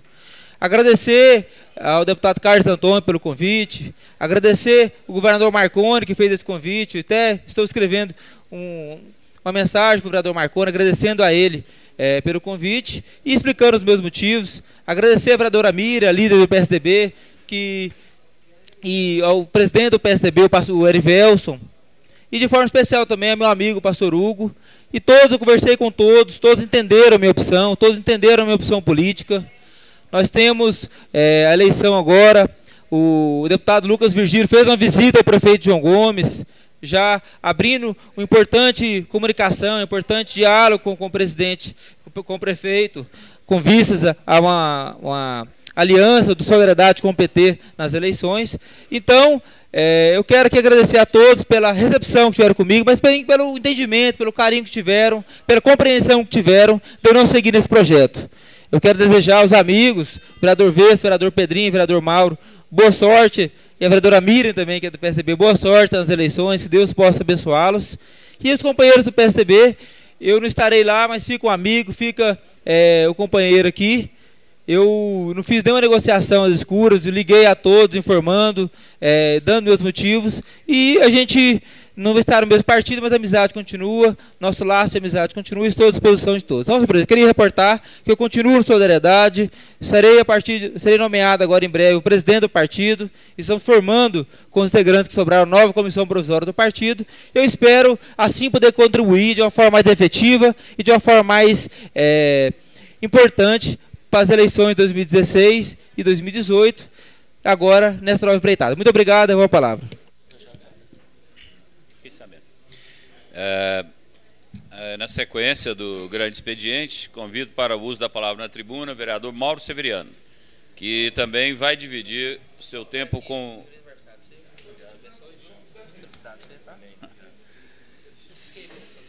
Se o assunto couber, se o prazo couber, com o vereador Frei Valdair. Por gentileza, vereador Mauro. Senhor presidente, nobres pares, pessoas que estão nos assistindo através do Canal 5 e Rádio Manchester.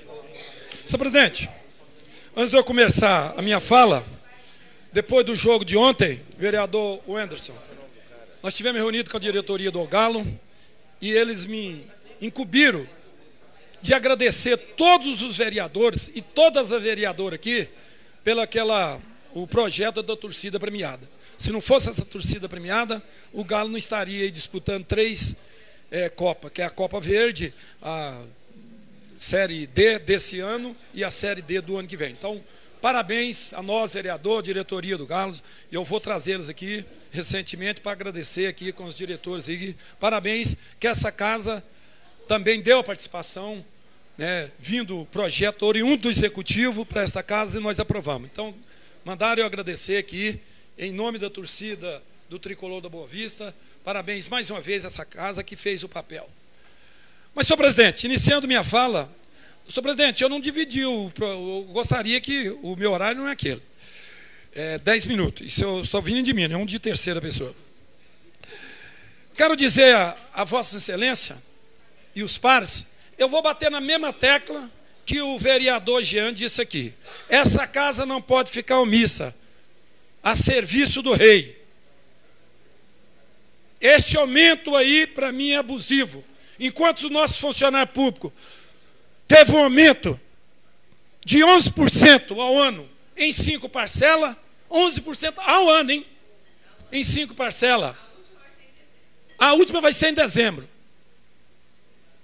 Essa empresa de concessão aí, 20%. E ninguém fala nada. Essa casa aqui, com 23 membros, alguém tem que falar. Alguém tem que falar. Não pode, vereador Jean, acreditar numa empresa que ganhou a concessão, diz que ia melhorar, melhorar 100% de um transporte, diz que estava falido na nossa cidade e nós sabemos que não estava falido. O que, que melhorou? Em Goiânia teve um aumento da passagem, o Ministério Público cancelou.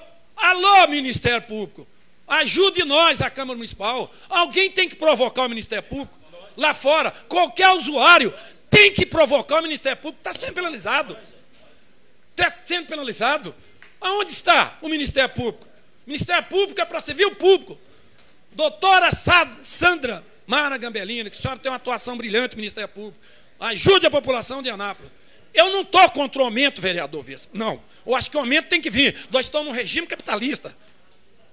Mas, por que, que isso não aumenta? Cada mês 10 centavos. Não seria melhor? São 80 mil passageiros. 80 mil passageiros por dia. É bom que se diga, por dia. Naquele, naqueles corredores ali. Eu ainda tenho terceimento. Na Urban. 80 mil a 50 centavos. São 50 mil por dia, gente. 50 mil por dia. Isso é brincadeira. Ainda mais, vereador Jean. Vereador Jean, pra, só para é, brilhantar o raciocínio de Vossa Excelência, já vieram mais de seis pessoas, pessoa que entende. Eu tenho que ver esse contrato, um contrato que não passou pela Câmara. Eu quero deixar os ouvintes bem alerta, isso, senhor presidente, que muitas pessoas não entendem, pensa que é a Câmara que autoriza o aumento. Não, não. Fala, mano, por que, que vocês deixam? Mas tem um, um item no, nesse contrato que eu quero ver esse contrato. E hoje, minha assessoria, vereador Jean, está pedindo esse contrato do CMTT que remeta para essa Câmara aqui, vereador Jacques. Que me falaram, não tem prova, que quando eu faço acusação, para mim não ganhar processo eu tenho que ter prova. Me falaram que nesse contrato, que vereadora, assim já alertava a Tucana, a Tucana Mira Garcia. Quem ia pagar a passagem era o povo. Com esses 27 milhões aí, que deram aí para ganhar essa licitação. Ganhou, se é lista ou lista, é outro departamento. Mas ia cair nas costas do povo desses 50 centavos. 50 mil por dia, some um mês. Hã? Um milhão e meio por mês. Soma isso em um ano, em 15 anos. A coisa mais grave, gerador, Miriam Garcia, não posso dar oportunidade. Não pode, porque, não? Não, porque Tá, eu tenho obrigada. tempo estourado, tem outros assuntos. O que mais grave que chegou nos meus ouvidos, que oito pessoas, vereador Wenderson, nesse contrato reza, vereador Geli, que a empresa tem que passar 1% da, do seu faturamento bruto para o CMTT. E diz que não está sendo passado. Eu quero checar isso aí. Eu vou a fundo isso aí. A empresa, o meu horário não está permitido. Gentileza, pastor. Mais cinco minutos concedido ao vereador. Ah, o mais grave é isso aí. Chegou no meu ouvido, e a pessoa entendida, não é a pessoa leiga, não. Que esse contrato foi feito, ganhando a licitação, que a empresa detetora da concessão, que ganhou e iria ganhar, tinha que passar 1% do faturamento bruto para o CMTT. E para onde está indo esse dinheiro? Olha, nós sabemos, os vereadores mais experientes dessa casa aqui, que nós só temos duas autarquias na cidade. Ao roto, os outros são todos secretaria. O CMTT não é secretaria, é uma autarquia. O ISA recebe verba federal para o o Tesouro Municipal é uma autarquia. Para onde tem dinheiro? Será que essa empresa está passando? Eu quero checar isso, que o CMTT vive disso. Vive disso. E diz que o CMTT está quebrado. Tem que passar 1% do faturamento da empresa. Faturamento não é faturamento líquido, Freire. Faturamento da empresa. Uma parte, vereador. Será, eu, um minutinho. Então não pode fazer isso. Está fazendo os vereadores de trouxa, que o papel do. igual o vereador Marrulo usou a tribuna, fiscalizando taxa de iluminação pública. E eu vou bater nessa tecla, fiscalizando também, que é o papel dessa casa. Essa casa não pode ficar omissa. E no jargão do direito, que eu sou um operador de direito, no jargão de direito, a omissão também é crime. Então nós estamos sendo criminosos. Alguém tem que falar. Tem que falar. Então, eu não vou deixar isso limpo. O aumento se é legítimo, eu não sei. Mas, gente, 50 centavos, para nós não tem valia nenhuma. Mas para um trabalhador que tem cinco filhos, cinco filhos que vai para o colégio, vai e volta todos os dias, são quantas passagens? São 30 reais por dia que ele tem que pagar para os seus filhos. Gente, é muita coisa, é muita coisa, numa pancada só. Enquanto, qual, o que que aumentou neste país 20%? O que que aumentou? A expectativa da inflação foi 10, 11%. Agora vem uma empresa que ganhou, disse que ia melhorar coisas e muito, ia fazer isso aqui, país de primeiro mundo. Aumentou em quê? Aí vem um cidadão que é diretor da empresa e dá uma declaração em rádio, jornal, no meio de comunicação, um aumentozinho, um aumentozinho para ele, né? Que ele deve ganhar super bem na empresa como diretor. Aumentozinho para ele. Não pesa no bolso dele, porque ele anda de carro, ele não precisa de ônibus. Então é isso que não dá para ficar calado. Não dá para ficar calado nessa casa. Veja bem, nem na Câmara os nossos servidores tiveram aumento. Tiveram aí 11% em 5 parcelas. 5 parcelas é 2%. Agora, e tem vereadores que não vai dar aumento para vereador, tudo bem, até concordo. Aumento de 20%, uma pancada só, nas pessoas humildes, que pessoas que andam de onde são pessoas humildes, pessoas assalariadas. Então, aonde está o Ministério Público? Doutora Sandra Gambelini, que ela já foi homenageada por essa casa. Por favor, qualquer cidadão comum eu convoco que entre na justiça, que ele está sendo penalizado. Não é eu, não. E eu, como que defendo as coisas legítimas nessa casa, então, realmente, nós temos que ver isso aí. Uma parte, vereador Marrula, que eu só tenho. Vereador Marrula, eu só tenho um minuto e eu quero concluir. Obrigado, vereador. É, um dos motivos que eu falo e reclamo aqui nessa casa é sobre decretos. Hoje de manhã, a minha secretária do lar falou: vocês autorizaram a subir a taxa de ônibus. Eu falei: não, ela chama Tereza. Eu falei: não, Tereza, aquilo foi via decreto. E se por lei, na, no edital, se por lei é legal ou não legal o aumento da taxa, estuda aí vai para o CMTT. Cabe o CMTT, eu pergunto. Já, já analisaram teve esse aumento, aí vai para o executivo para ser via decreto. Então, cadê a análise e a resposta do CMTT para o Poder Executivo para dar continuidade da, o encaminhado aumento da taxa? Tá bom, Tarifa obrigado. de 11. Obrigado, eu vou falar. Aí vem alguém no meio de comunicações, diretor da empresa, fala que foi um pequeno aumento, então estão lesando o erário público, essa empresa. Por quê? Se foi feito o contrato, eu tenho que ver e tem que ser afirmativo se realmente esse contrato. Eu vou pedir o CMTT que manda esse contrato imediatamente para cá. Se 50 centavos numa passagem para a empresa não faz falta, mas para o usuário sim, já. Então, eu peço a compreensão de todos os vereadores, que eu estou falando aqui. Ontem foi a maior gozação em cima de mim lá no estádio Jonas Duarte. Os, as pessoas, ah, Maurão, vocês deixam a Câmara, deixa aumentar. Mas eles não entendem que isso não passa pela Câmara. Nós não temos legitimidade de votar em matéria financeira. Mas então eu quero pegar o contrato dessa empresa, como é que foi feito esse contrato, que até hoje está igual aquela música do Zeca Pagodinho. Eu comer caviar que eu nunca vi, não sei falar. Eu nunca vi esse contrato. Só sei que teve uma licitação. Vou pegar esse contrato com os itens aí, se a empresa está rigorosamente em dia com o município. Só isso. Obrigado, vereador Mauro. Parabéns, a sua fala é pertinente. Nós precisamos realmente debater sobre esse assunto e nós falaremos posteriormente, pela ordem, também sobre o assunto. Concedo a fala por 10 minutos ao vereador Gleibon Martins. Cinco minutos, que dividirá seu tempo com o vereador Sargento Alberto.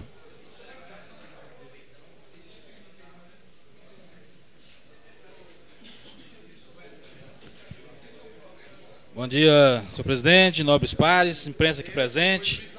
É, glória a Deus, porque até aqui o senhor tem nos ajudado. Cumprimentar também o vereador Luiz Lacerda, retornando a essa casa. Que Deus possa abençoá-lo, todos, toda sorte e bênção. Senhor presidente, nós estamos aqui apresentando uma moção, uma moção de repúdio e apreensão é, pelo fechamento dessa empresa, a Semina Secrisa, Secrisa Semina, ali do Daia, aonde é, mais de 200 famílias, 200 funcionários estão perdendo seus empregos. E nós vemos acontecer isso, a gente via acontecer é, nos grandes centros, é, através dos jornais, está chegando, vereador Frei Valdaí, aqui em Anápolis. E apreensão também, essa, essa moção de apreensão, por quê? Qual será a próxima? A gente, só, a gente anda pela cidade, só vê placas, vereador Marrola, aluga-se, vende-se, é, enfim, coisas que é, a, a, a, cidade está passando por uma recessão também. Anápolis não vive numa ilha, fora dessa crise. E o que, que foi feito pelo o governo municipal, governo estadual e governo federal para que essa empresa poderia se continuar é, com esses 200 funcionários trabalhando e dando emprego em Anápolis. Uma, uma empresa do porte da cidade, da, da, da Secrisa, da Semina, aonde quantas pessoas, parentes já trabalhou, diversas pessoas, amigos trabalhou nessa empresa e ela estava tocando aí e hoje se fechou é, uma, uma, uma, empresa dessa, dessa envergadura, aonde traz é, dividendo, traz é, aumenta a, a arrecadação do, do, município, fechou, fechou-se as portas e nós vemos aí passando por essa situação. A gente vê também, pega de surpresa nós, essa questão da Urbana onde as pessoas têm nos cobrado, nós vivemos, no, é, andamos no, no bairro, na, em toda a cidade, encontramos pessoas em supermercado, enfim, todos os locais, pessoas que utilizam. Às vezes nós não andamos de ônibus, mas pessoas andam de ônibus, da minha família, amigos, todos cobrando, perguntando, vereador aí, por que nós aceitamos este aumento? Da mesma forma com o aumento da iluminação pública, foi um decreto na calada da noite, na, na surdina, empurra goela abaixo e nós ficamos aqui em xeque o nosso, o nosso mandato, o nosso, nosso trabalho em, em função de uma situação que não passou por essa casa, não passou por nós. Nós estamos aqui repudiando também essa questão do fechamento da empresa Semina e também desse aumento do, da Urban, desse aumento dessa, dessa taxa de 50 centavos. Para muitos, 50 centavos é pouco, igual foi dito. A, a empresa foram lá, na, na, deu entrevista falando que é pouco, mas para quem paga 4, 5, 6 passagens por dia, no final do mês será uma quantidade alta. Então nós estamos aqui também repudiando tanto o fechamento da, da Semina, onde o governo municipal, governo estadual e governo federal contribuiu muito para que essa, essa empresa fechasse. Porque se tivesse trabalhado ao contrário, realmente essa empresa estaria aberta e outras mais que estariam estar na situação, na iminência de fechar. E isso vai acontecer muito também. Outro assunto, senhor presidente, que nós estamos, vamos tratar também, não pode ser também em relação a partido.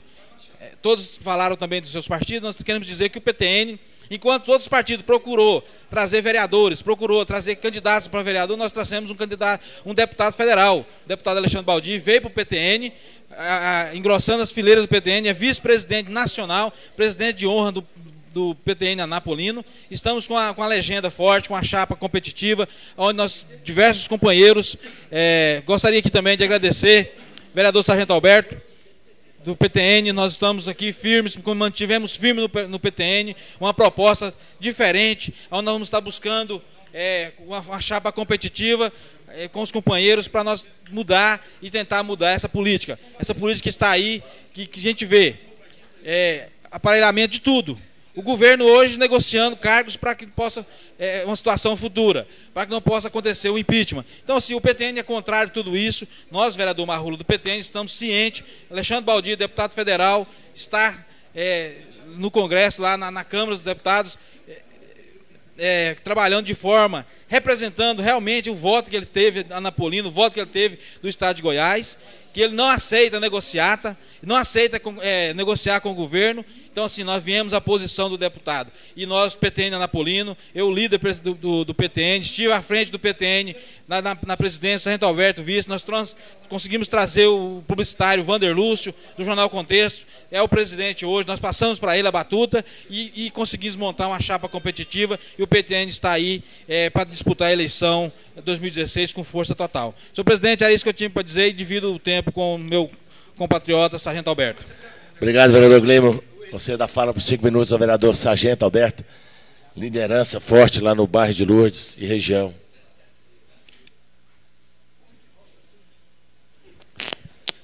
Obrigado, vereador Jacques Charles, que conduz essa sessão neste momento. Queria cumprimentá-lo, cumprimentando, cumprimento a todos os colegas aqui presentes. E também recebemos braços abertos o nosso vereador Luiz Lacerda, que retorna a essa casa, com certeza, abrilhantando e aumentando as discussões né, que, que interessa a, aos nossos, as nossas, a nossa sociedade. Eu não poderia também manifestar a minha preocupação quanto à taxa, né, que hoje abusiva, né, de alguma forma ela é abusiva, porém eu prefiro ainda me manter no momento ainda isento a discussão, sabendo o que, que é, qual a real situação e por que disso. Então vou me reservar ainda no primeiro momento, mas eu sei e aplaudo aí a manifestação que ocorre me informaram que há uma manifestação ali próximo ao terminal. Isso é importante a sociedade participar e manifestar a sua insatisfação. E vemos né, o reflexo dessa situação, que é o fechamento de empresas, como foi colocado o vereador Gleimo aqui, fechamento de empresas nos DAIA, o qual oferece oportunidade aos nossos né, de trabalho. Isso é muito preocupante, sim. E gostaria só de reafirmar aqui um trabalho que foi feito na, na quinta-feira, onde eu trouxe a essa casa vários policiais militares. E eu tenho falado que a segurança pública muitas vezes é questionada de todas as formas, mas o profissional, ele tem mostrado a sua preocupação, o seu compromisso e não tem medido esforços. E nós temos visto a todo dia ações de policiais militares aqui de Anápolis, na sua preocupação de manter a ordem e muitas vezes ultrapassando o seu limite, né? E assumindo responsabilidade para dar uma resposta ao cidadão, à sociedade.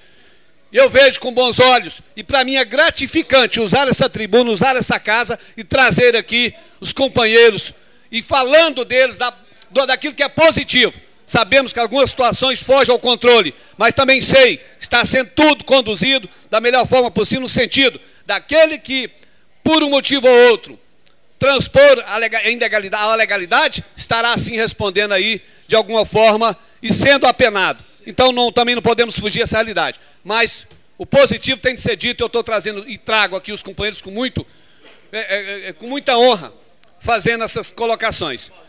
E o nosso vereador que me antecedeu, o Guilherme Martins, fala do partido. O PTN, sim, fez um, uma aquisição muito grande. Nosso deputado Alexandre Baldi, que abraçou o PTN, acreditando e acredita nos vereadores e no grupo que se forma aqui em Anápolis. E o PT não ficará fora da discussão política da cidade, justamente preocupado com tudo aquilo que acontece em Anápolis, o que dá uma resposta à sociedade, que busca minimizar, dar uma qualidade de vida. O PT então não está alheio, vai fazer discussões sim, pesadas se for o caso, mas consciente. Nós estaremos trazendo assunto aqui só para fazer discussão, não. Estaremos trazendo assunto aqui para que se haja de efetivamente é, é, é, concretização. E eu vejo então o PTN hoje com bons olhos, vereador Glênio, os demais que estão nos ouvindo. PTN vai fazer sim, vereadores, estará presente nessa Câmara e estará fazendo, de alguma forma, suas discussões e discussões sadias. Estaremos participando. Então vou deixar aqui, senhor presidente, o nosso reconhecimento ao trabalho feito por nosso presidente municipal, Vander Lúcio, dono do contexto, pessoa que tem compromissado, sim, desde o início, em regulamentar né, o partido, estruturar e trazer aí nomes que vão fazer um diferencial. Então, recepciona aí o Nassim Fará, estou recepcionando o Fernando do Detran, estou recepcionando o Washington Filho, estou recepcionando o Sargento Borba. E, na sequência, vários outros nomes que no momento eu não consigo aqui lembrar, mas estão vindo com potencial grande, com pessoas que têm colaborado já ao longo de suas, suas carreiras aqui, em determinados locais, dando a sua contribuição. Estará contribuindo mais quando aqui estiverem, com certeza, representando aí o Partido Trabalhista Nacional. Fica aqui o nosso, então, manifestação nesse dia, presidente. E uma preocupação, que as manifestações que acontecem sejam manifestações sadias, que busquem solucionar. E nós, vereadores, não estamos alheios. O que depender de nós aqui, estaremos com certeza fazendo, vereador Mauro. Estaremos sim fazendo a discussão, buscando soluções para que haja o entendimento da melhor forma possível, sem aí trazer sequelas em determinadas situações. Fica um bom dia a todos, então devolvo a palavra. Obrigado, vereador Sargento Alberto. Ah, concedo a par de cumprimentar o nobre vereador Luiz Lacerda, que retorna à casa após um trabalho árduo e competente à frente da Secretaria de Assuntos Parlamentares. Cedo a fala por 10 minutos ao vereador Luiz Lacerda.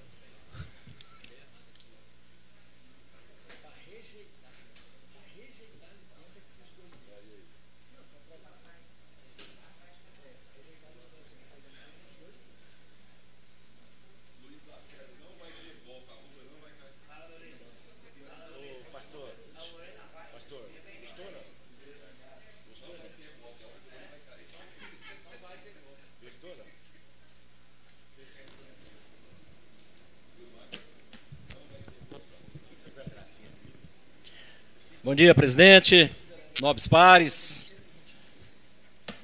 Não posso errar aqui o, o bom dia, porque a última vez que participei aqui da sessão da tribuna ainda era boa tarde, né? As, as sessões.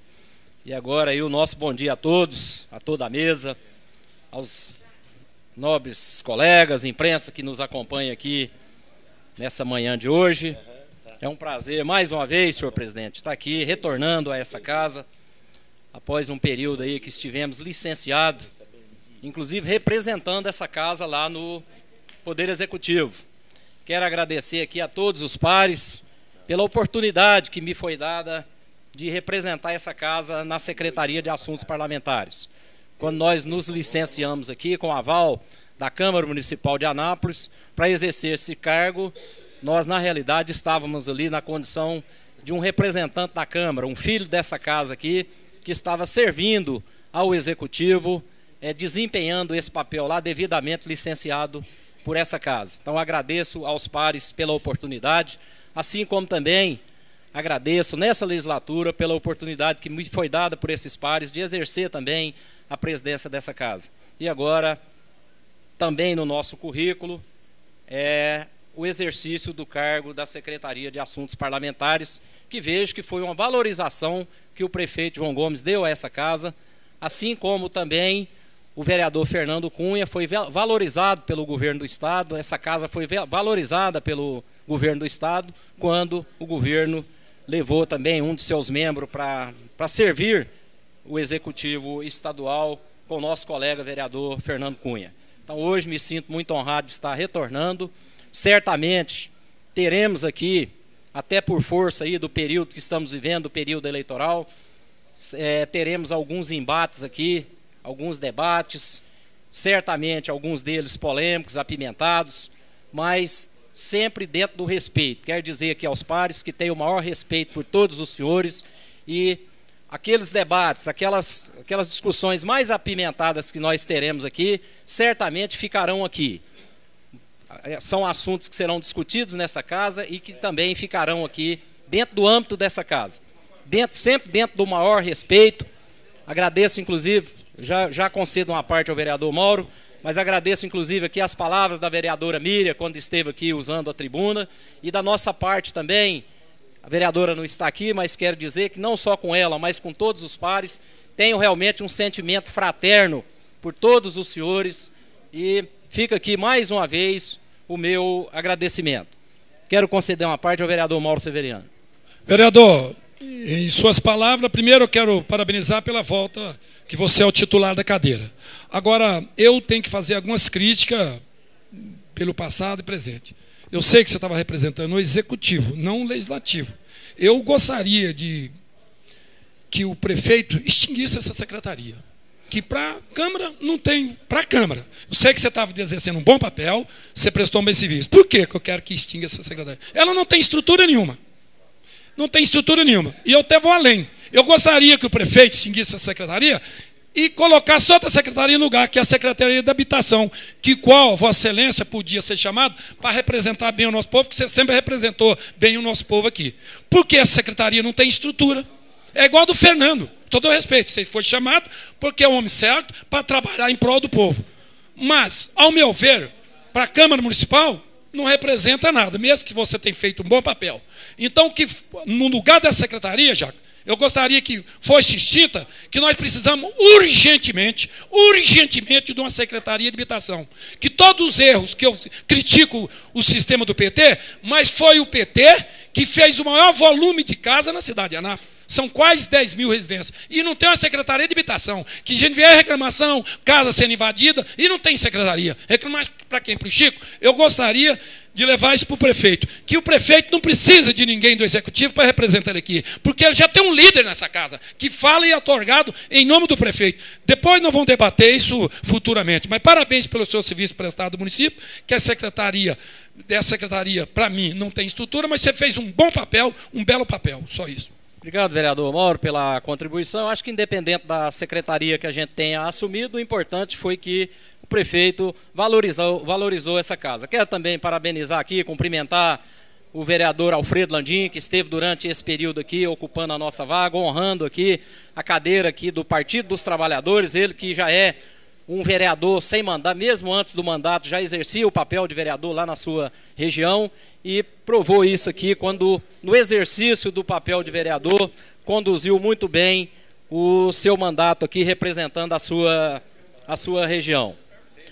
Mas, senhor presidente, eu gostaria de destacar aqui também, hoje, nessa manhã de hoje, é, o momento vivido pela cidade de Anápolis. Nós sabemos que nós estamos aí em meio realmente a uma crise. É inegável que a crise atingiu o nosso país, demorou, mas finalmente chegou aqui ao Brasil e não é diferente nos municípios. A crise também chegou aos municípios, que na realidade os municípios já vinham sendo afetados há muito tempo, com essa divisão de recursos que nós temos, muito questionada até hoje pelos municípios, depois que foi criada aí essa lei do repasse do FPM aos municípios, um repasse muito questionado e que vem penalizando ao longo do tempo aí os municípios. E na cidade de Anápolis não é diferente. Aqui também nós vivemos um período de dificuldade com a arrecadação caindo, a arrecadação diminuindo, principalmente aí no que tange ao ICMS, que tivemos uma queda aí realmente muito acentuada.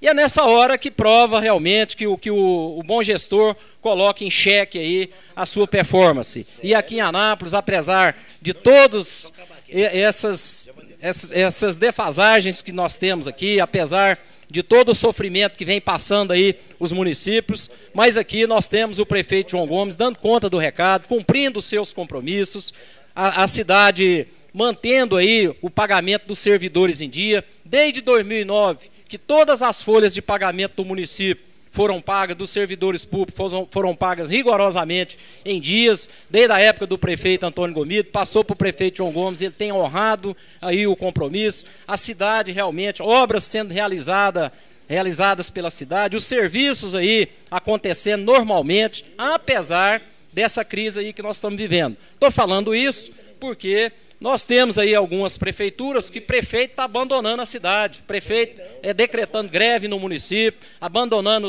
a cidade sem dar satisfação. E aqui não, apesar de toda a crise, nós temos aqui um gestor que tem dado conta do recado, um gestor que realmente está mostrando a que veio. Eu acho que é nessas horas realmente que é, o prefeito prova a capacidade, porque nas horas fáceis, nas horas de abundância, é fácil de administrar. Mas é nessa hora de crise que a gente é que o gestor prova realmente do que ele é capaz, prova a capacidade dele de sair, de arrumar é, a solução para os problemas que aparecem no dia a dia. O município tem muito problema, imagina uma cidade de 400 mil habitantes, agora mesmo a gente estava ouvindo aqui os nobres pares que me antecederam falando de problemas pela cidade, e tem mesmo Tem mesmo. Foi citada aqui, por exemplo, a questão do tapa-buraco, que apesar de problemático, mas eu vejo que esse ano nós temos uma situação muito melhor do que anos anteriores nesse período. Nesse período de chuva, que geralmente a cidade tem buraco para todo lado, ela é toda esburacada,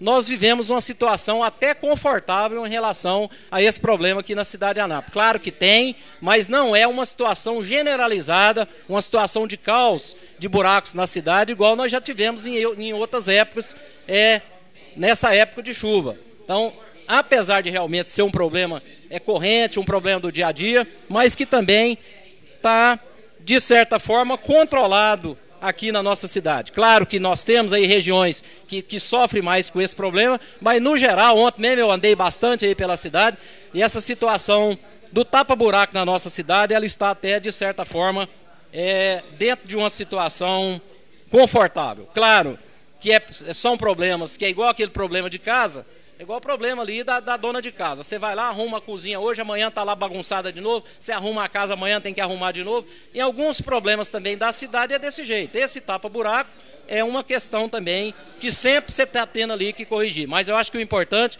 é que a prefeitura está atuando, está trabalhando e está, de certa forma, numa situação bastante confortável. Nós temos outros assuntos para falar, senhor presidente, que o tempo hoje é escasso mas futuramente vou falar aqui de um assunto que o nobre vereador Jackson Charles, de forma muito apropriada, tocou aqui, que é a situação dos partidos políticos. E isso, sem dúvida nenhuma, é graças a mais uma vez a tapiação, o arremedo de reforma política que foi feito pelo Congresso Nacional. Quando coloca aqui a instituição Congresso Nacional, não estou falando aqui individualmente de nenhum parlamentar, mas mais uma vez nós tivemos no Congresso Nacional uma reforma política feita para os políticos e não para a sociedade. Isso tem que ser rediscutido. O Congresso Nacional realmente tem brincado de fazer reforma política e, mais uma vez, dessa vez, quem está pagando o pato agora, o Congresso que deveria fazer reformas para beneficiar os partidos, mais uma vez, fez uma reforma que acabou foi arrebentando ainda mais com os partidos políticos. Concordo plenamente que com o vereador Jackson Charles disse aqui, os partidos estão se deteriorando e com o aval do Congresso Nacional que votou mais uma vez um arremedo de reforma política. Futuramente estaremos aqui falando desse assunto. Obrigado, presidente. Devolvo a palavra. Obrigado, vereador. Mais uma vez, muito bom tê-lo de volta aqui. Obrigado pela participação. É, finalizado o grande expediente, para início da ordem do dia, solicito ao vereador Glei Martins que faça a ferição de quórum. Vereador Paulo de Lima, vereador Pedrinho Porto Rico, vereador Vespa, vereador Frei Valdaí, vereador Luiz Lacerda, vereador Miguel Marrola, vereador Eli Rosa, vereador Pastor Vilmar Silvestre, vereador Professor Geli, vereador Dinamélia, vereador Miriam Garcia, vereador Mauro, vereador Lisier, vereador Ederson Lopes, vereador Gleimo Martins, coro suficiente, senhor presidente. Obrigado, vereador. Com, com coro suficiente, nós vamos passar aqui, disponibilizar o, a tribuna para o uso da palavra pela ordem. Mas conforme eh, estamos fazendo na, nas últimas sessões, concederemos a palavra pela ordem para os cinco vereadores inscritos. Posteriormente, passaremos aí a pauta de votações dos projetos e dos requerimentos que estão na ordem do dia. E gostaria de salientar mais uma vez, nós temos as questões regimentais e nós precisamos das composições partidárias, até para a recomposição das comissões, bem como o uso da palavra pela ordem. É, o regimento é claro quando ele diz que o uso da palavra pela ordem é facultado aos líderes partidários. Portanto, ou com a devida concessão do uso da palavra para o vereador substituto. Sem problema, Frei, mas eu só lembrando aqui que nós temos aqui algumas, algumas restrições regimentais com relação às composições partidárias. Portanto, peço a gentileza de Vossa Senhoria, os líderes partidários, para que façam as informações pertinentes às, à, à nossa assessoria legislativa. Portanto, conforme previsto, vamos conceder a palavra inicialmente, pela ordem, por até três minutos, o vereador Frei Valdair. Obrigado, senhor presidente. Senhor presidente, eu gostaria de é, salientar aqui da audiência pública que nós fizemos é, alguns dias atrás, debatendo aqui com os estudantes, com vários representantes dos estudantes acadêmicos, é, com relação com relação ao Vale Transporte direcionado aos estudantes. Mas hoje, é, eu gostaria de falar sobre, novamente, sobre a Urban. A Urban que não trouxe nada de novo. Ela não ofereceu nada de diferente, pelo contrário, até pior do que a empresa TCA que prestava o serviço aqui anteriormente. Vamos pintar aqui um cenário que o nosso país, que a nossa cidade enfrenta. Recessão, desemprego, arroz salarial, crise política, corrupção, dificuldade do povo em sobreviver ou viver, dificuldade, estrangulamento, é um estrangulamento econômico que esse povo enfrenta nesse momento. Hoje de manhã, vendo os telejornais, aumento de mais de 12% nos remédios.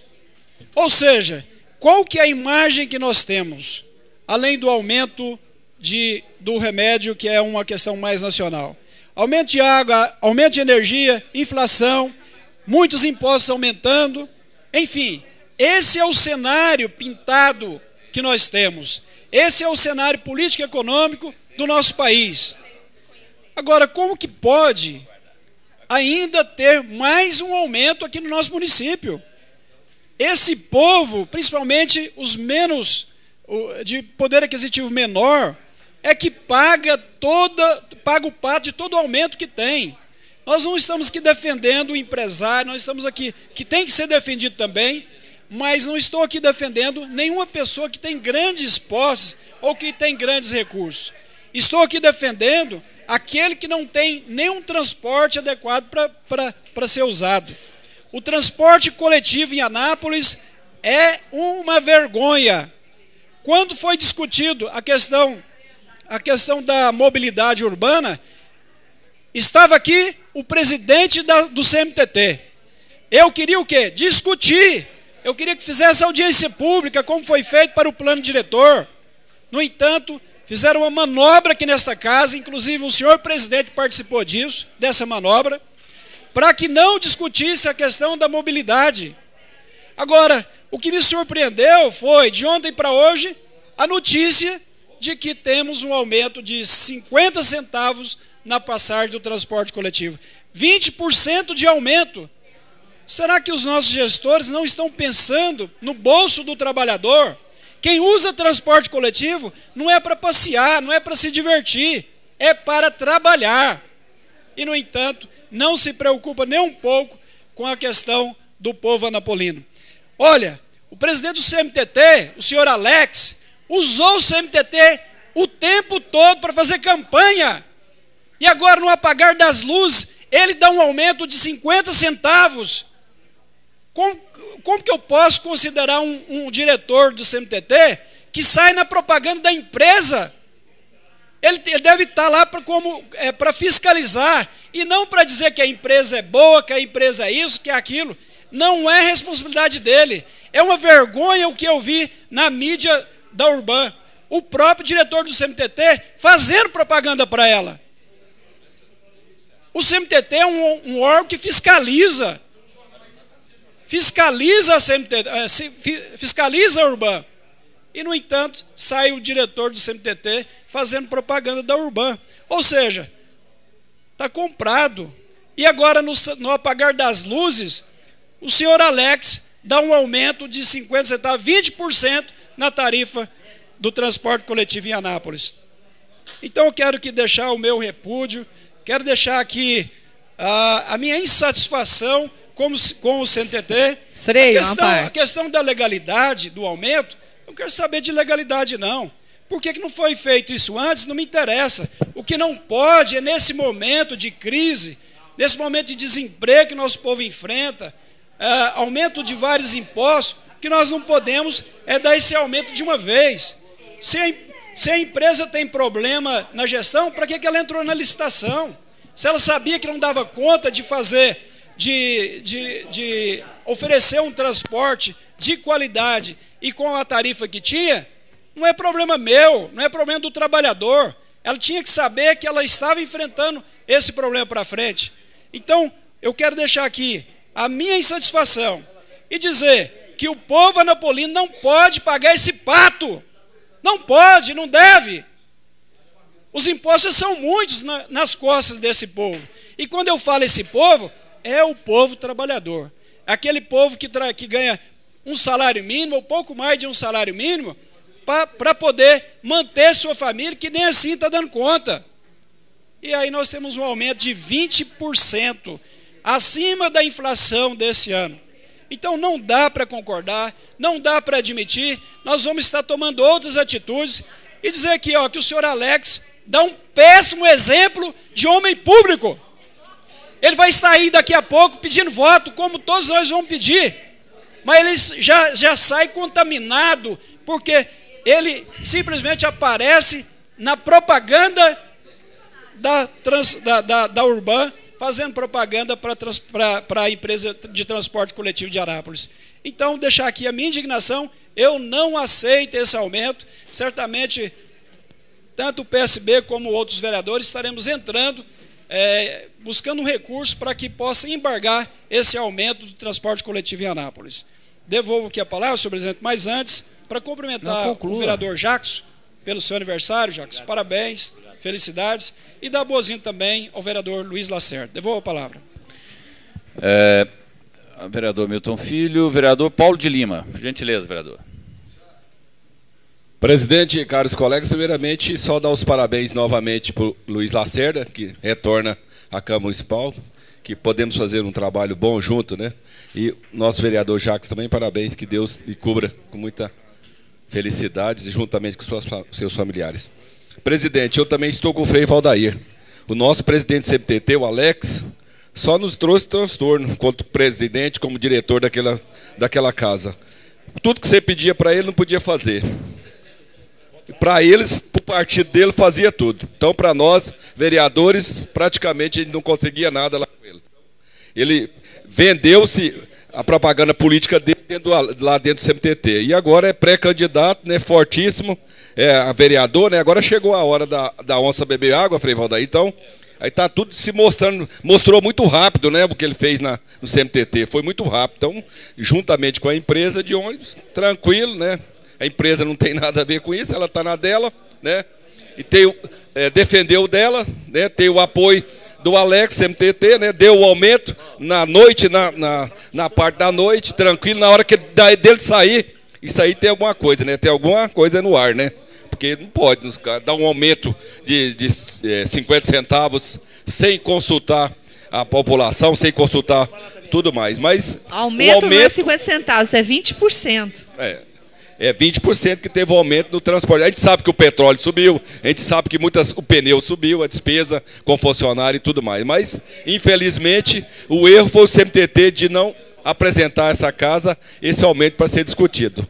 É isso aí que está acontecendo. Eu também queria dar um, um abraço especial a toda a torcida do Aná Futebol Clube, que agora foi entre os quatro finalistas do Campeonato Goiano. Há muito tempo que a gente não consegue isso conseguiu diversas classificações para a Série D, para a Copa do Brasil e tudo mais. Parabéns à torcida do Anápolis. Eu não vou agradecer a diretoria porque ela não fez mais do que a obrigação dela. A torcida sim é que sofre muito com o time, né, nossos times daqui de Anápolis. Infelizmente a nossa a Napolina não conseguiu, mas o pessoal está comentando aí, viu, presidente, que não vai ter golpe, a Napolina não vai cair. Obrigado a todos.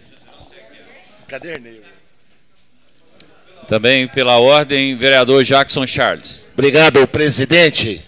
Eu quero só fazer coro às falas do, na condição de líder do PSB dessa casa, do mesmo assunto. Eu fiquei muito preocupado ao ver, alguns, alguns dias atrás, uma propaganda da empresa feita por é, artistas do governo municipal. Diretores participando de uma propaganda de uma empresa que presta serviço na cidade. Ao passo que esses diretores deviam estar fiscalizando essa empresa.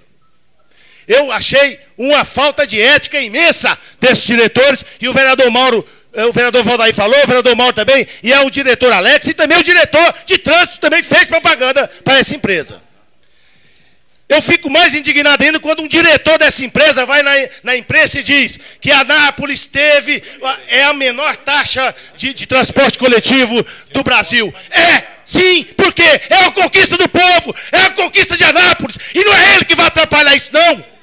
Ele que se coloque no seu lugar. Quando entrou na licitação, ele sabia a situação, ele já sabia que era a menor tarifa. Quando ele entrou na licitação, ele já sabia que a tarifa era a menor do país. Agora ele quer dizer que não sabia que a empresa está passando dificuldade? Tenha santa paciência, o povo não vai pagar o pato, não. Sabe por que não vai pagar o pato? Porque os vereadores, Mauro José Severiano, Jackson Charles, o Ederson Lopes, Valdair de Jesus, Jean, Hebe Mamed, Miguel Marrula e outros que quiserem acompanhar. Miriam Garcia, nós já estamos agendando, agora à tarde, uma audiência no Ministério Público com a doutora Sandra ou com o doutor Marcelo Henrique para questionar esse aumento abusivo de 20%. Como que você dá um aumento de 11% para os trabalhadores e quer dar 20% para uma, uma, tarifa de, de, de transporte coletivo? Podemos estar errado, mas nós queremos que o Ministério Público se pronuncie com relação a isso. Nós não queremos pagar o pato, não. Quando vocês entraram na licitação, a regra já estava posta.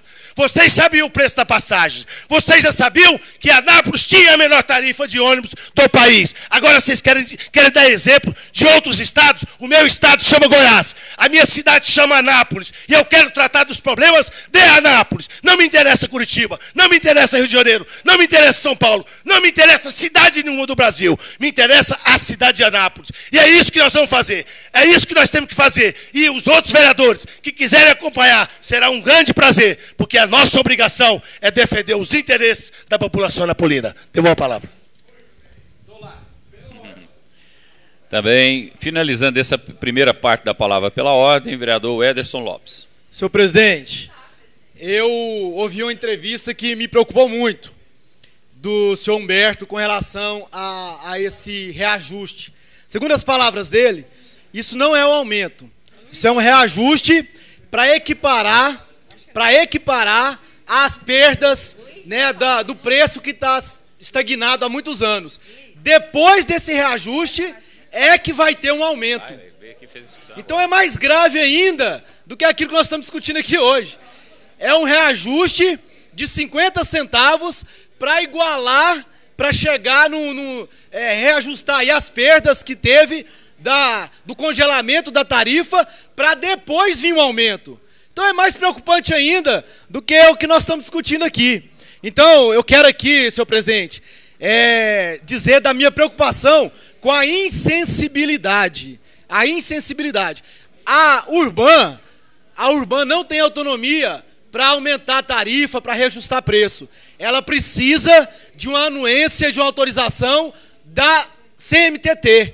E se esse aumento está acontecendo, é porque a CMTT autorizou. Então não adianta ficar aqui batendo na empresa. A empresa visa lucro. Agora, por isso, existe uma autarquia onde a empresa está subordinada a essa autarquia. E a autarquia, ela tem que olhar a questão da sociedade anapolina, ao interesse público. Não vou aqui entrar na questão se é justo ou se não é justo. Não vou entrar na questão de que está defasado ou não está defasado. Mas a, o funcionário público, os professores têm direito a um aumento de 12%. Isso foi negociado para que não é, fizesse desfalque no caixa da prefeitura. E os professores cederam, os funcionários públicos cederam, abriram mão para que esse, parcela, para que esse aumento fosse parcelado. Então, o estudo comprovou que é preciso haver essa reequiparação é, do, da tarifa de ônibus, vamos também parcelar. Vamos fazer isso de uma maneira que alivia ao usuário do transporte coletivo. Esse aumento, esse reajuste é de 50 centavos, divide-se isso aí em quatro parcelas. A cada quatro meses tem um reajuste. Então nós não queremos aqui fazer discurso político. Nós não queremos aqui dizer para a população que não é necessário, que está incorreto. Ou não, nada disso. Mas há uma situação de crise. Há uma situação de desemprego. A Secris, a Semina, mandou 200 embora. A Hyundai mandou a gente embora. Outras empresas estão segurando, mas não sabem até quando eles vão conseguir segurar há uma situação de crise na cidade de Anápolis, porque ela não está fora do contexto nacional. Então é preciso haver uma sensibilidade do poder público. Há uma comprovação que é necessário esse reajuste, vamos parcelar como foi feito com o aumento dos professores e funcionários públicos. Vamos parcelar, vamos dividir isso aí, para não pesar de uma vez só no bolso do, do, da população, que inclusive muitos estão desempregados e precisa do ônibus para procurar emprego e para entregar currículo. Então nós estamos juntos, vamos acionar o Ministério Público para que isso seja feito de uma maneira decente e justa para a população anapolina. Devolvo a palavra, senhor presidente. É, devolve e retoma a palavra. Passemos agora, passamos agora à avaliação, discussão e votação dos projetos em pauta. Posteriormente, voltaremos ao uso da palavra pela ordem, antes até do requerimento, conforme foi solicitado aqui. Senhor presidente, por questões regimentais, a prioridade de votação é o pedido de licença do vereador Fernando Cunha. Vereador Fernando de Almeida Cunha com assento nessa casa de leis, vem com todo respeito e acatamento à presença de Vossa Excelência, com arrimo no artigo 26, inciso 3 da Lei Orgânica do município de Anápolis, requerer licença do cargo de vereador pelo período de 120 dias, a partir do dia 1 de abril de 2016 pelo regimento, para esse pedido de licença ser rejeitado, precisa de dois terços da Câmara. Enfatizando, para rejeitar o pedido de licença, precisa de dois terços da, de voto dos vereadores dessa casa, senhor presidente.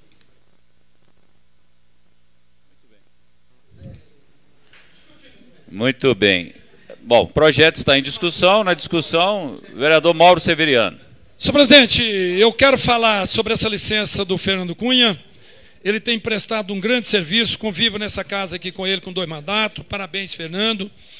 Ele pediu uma licença aí por interesse particular, mas você pode ter certeza, vereador Fernando, você tem uma pessoa que vai ficar no seu lugar, você é o titular da cadeia, vereador Marrula, brilhante é, vereador, tem certeza que a sua cadeira aqui vai ser ocupada por um grande parlamentar que tem prestado um grande serviço nessa cidade. Uma vez o vereador Amarrula era, era como é que fala, suplente, e ele chegou aqui com seus caminhos próprios, com as suas ideias próprias, e ele está fazendo um belo trabalho aqui, vereador Amarrula. Então, parabéns a você. Eu acho que você deve ficar mais uns quatro ou cinco meses aqui, defendendo o povo, fiscalizando o dinheiro do povo, fiscalizando os órgãos competentes. É assim que faz.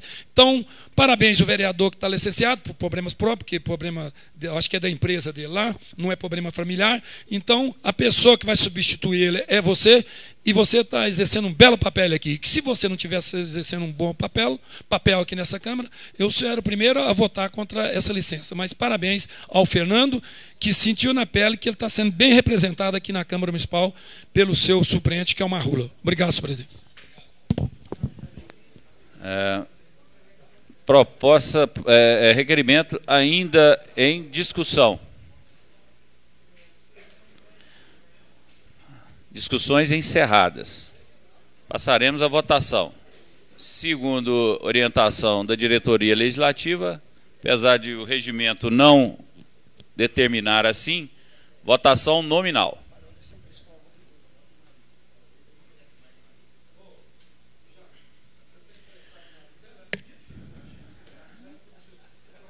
Antes do início dessa votação, gostaria de registrar aqui a presença na Câmara hoje do Padre Soares, é pároco da paróquia São Cristóvão. Obrigado, Padre. Seja muito bem-vindo. e volte outras vezes. Estamos aqui também, diretor do CMTT, Osmar, grande companheiro. Portanto, vamos à votação. Votação nominal, é, julgando aí votação acerca do requerimento do vereador Fernando Cunha de se licenciar por mais 120 dias. É, vereador Hamilton Filho. Favorável. Vereador Sargento Alberto. Favorável, presidente. Dinamélia Rabelo. Eber Mamed. Favorável.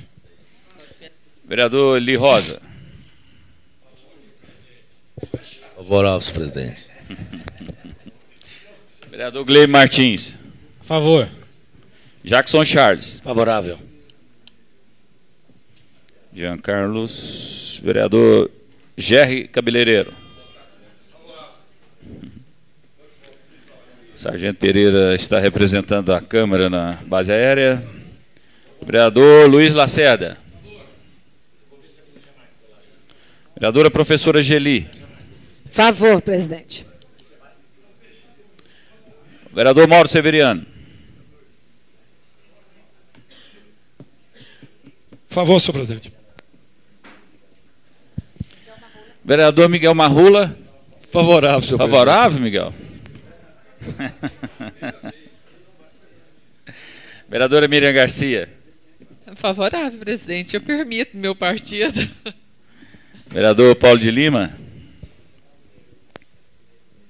Presidente, estou pensando, mas vou votar a favor.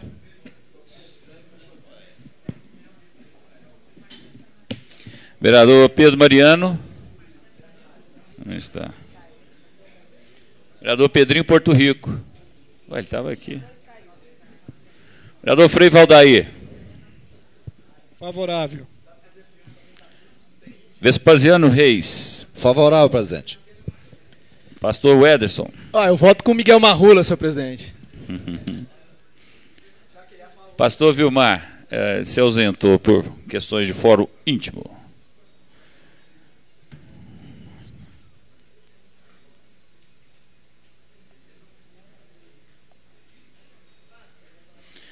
Com 17 votos favoráveis à unanimidade dos presentes, a propositura está aprovada.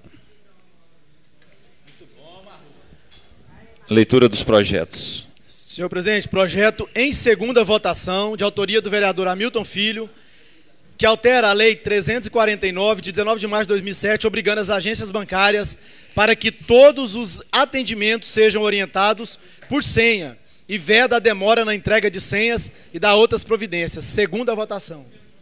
Projeto de autoria do vereador Hamilton Filho, em segunda votação, está em discussão. Discutir, presidente. A discussão, vereador Hamilton Filho, autor da proposta.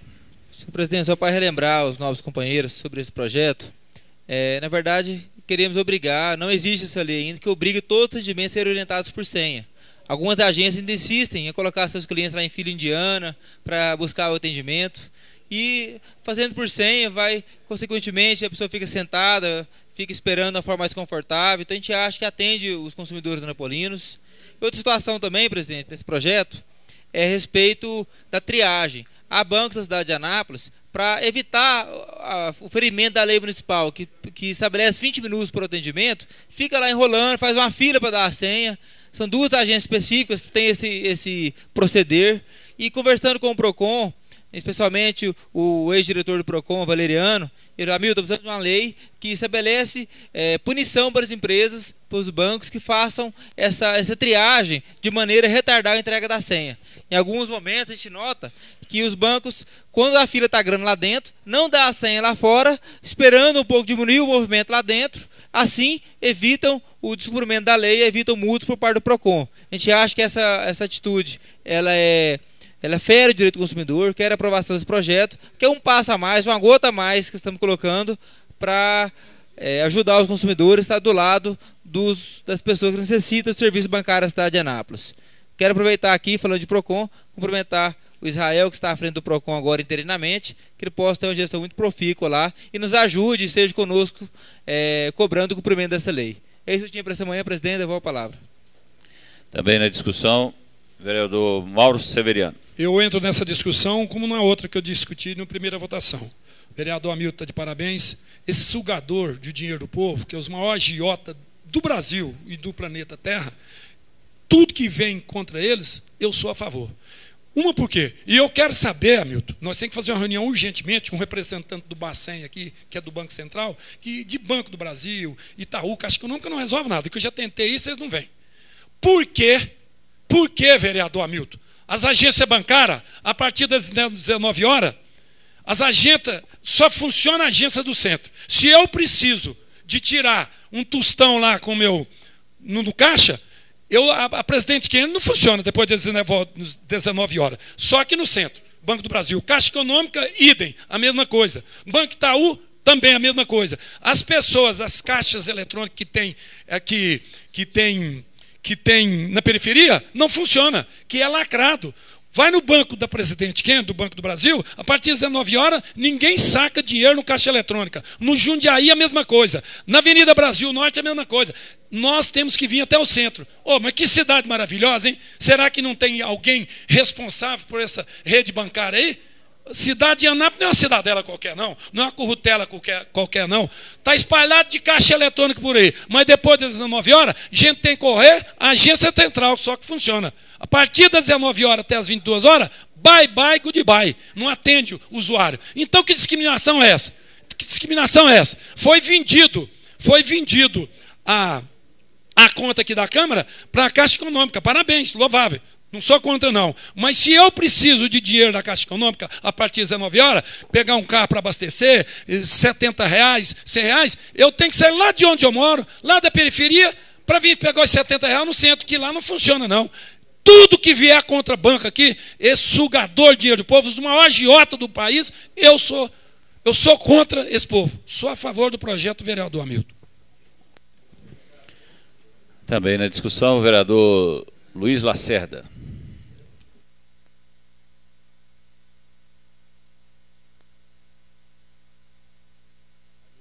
Ajuda ele aí, Maurão. Aí. Estrenado aqui, que há muito tempo que não falo nesses microfones portáteis aqui, senhor presidente. Obrigado aqui ao vereador Mauro pelo auxílio. Mas a respeito desse. Gostaria de cumprimentar o vereador Hamilton por esse projeto e concordo com o vereador Mauro. Eu acho que tudo que, que for aqui contra banco para poder proteger o cliente, nós temos que ser a favor. Esse negócio das agências mesmo fechar às 19 horas, isso é um absurdo. O argumento do banco é devido à segurança, porque senão vai lá assaltante e tal e leva. Isso não é problema do cliente. Tá isso é problema do banco. O banco é que tem que resolver problema e, oferecer segurança aos seus clientes. E, e não oferece segurança fechando a agência. Agora, para oferecer segurança, vai privar o cliente do serviço do banco. Então, realmente, é um absurdo. Esse projeto aí é, é mais um reforço que nós temos aí é, em proteção à nossa clientela dos bancos. O banco realmente não está nem aí para o seu cliente, só visa lucro, cada vez mais lucro, e a gente não vê nenhuma medida do banco para favorecer, para proteger o seu cliente. Só pensam realmente no lucro, tirando caixas eletrônicos aí que estavam à disposição da população em outros pontos, fechando as agências mais cedo para poder. Por que, que não coloca segurança? Tem um projeto aqui do vereador Pedro Mariano que obriga o banco a colocar segurança lá para poder atender a clientela, para poder proteger o cliente. E, no entanto, o banco quer proteger o cliente fechando a agência. Realmente é um absurdo e nós temos que estar atentos, porque o atendimento, o atendimento bancário é um dos, dos segmentos de atendimento ao cliente que continua é, apesar de todos os esforços aqui dessa casa, de todas as leis que a gente tem votado aqui para proteger o cliente, mas a gente não tem visto melhoria. Esse, esse problema da senha aí mesmo é um absurdo. O banco agora, ele espera é, um momento ali, não, não deixa acumular, quando está acumulando senha, a pessoa está ali dentro do banco buscando atendimento e tem que esperar para pegar a senha para não passar daquele horário com a senha na mão, porque a senha tem o horário do atendimento. Então, para burlar a lei aí do consumidor, o banco deixa o cliente ali esperando um tempão para depois fornecer a senha para ele. Então, realmente é um absurdo. O banco, ao invés de estar tá melhorando o atendimento para o cliente, está, na realidade, buscando formas de burlar as leis que são criadas aí, na realidade, para prejudicar o cliente. Nós temos que estar tá atentos, porque esse segmento bancário é um dos que mais é, tem tido lucro e não tem oferecido nada em troca para a sua clientela. Obrigado, presidente. É, de fato, curiosamente, é, nós observamos algumas denúncias acerca desse problema, é, talvez por provocação do próprio projeto que tramita na, na Câmara Municipal, né, na rádio, nas rádios é, que atendem a nossa cidade, nosso município, nós notamos aí algumas críticas, alguns questionamentos com relação a isso, justamente falando sobre isso que o vereador acabou de citar, que é o cerceamento da, da obtenção da senha tão logo adentre a agência. Isso é curioso, né? Então a importância da gente estar tá tratando desse assunto aqui. Continue em discussão a proposta. Passaremos para as votações. Estão encerradas as discussões. Votação segundo a nossa assessoria legislativa, votação nominal. Eu também concordo com a sinalização do vereador Hamilton ali. A primeira vez foi feita em votação nominal. Vamos votar votação simbólica. Os contrários se manifestem. Está aprovado em segunda votação. Projeto de Sequência. autoria do vereador Miguel Marrula, processo número 189/2015, que dispõe sobre a proibição da execução de obras em vias públicas de grande movimento no horário comercial na cidade de Anápolis da Outras Providências. A Comissão de Constituição e Justiça ela foi contrária ao projeto. Então estamos agora avaliando o parecer da comissão, senhor presidente.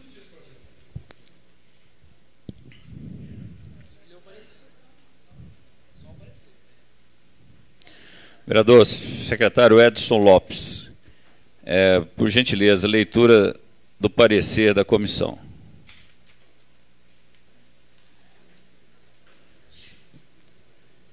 A presente proposição legislativa dispõe sobre a proibição de execução de obras em vias públicas de grande movimento comercial na cidade de Anápolis e dá outras providências.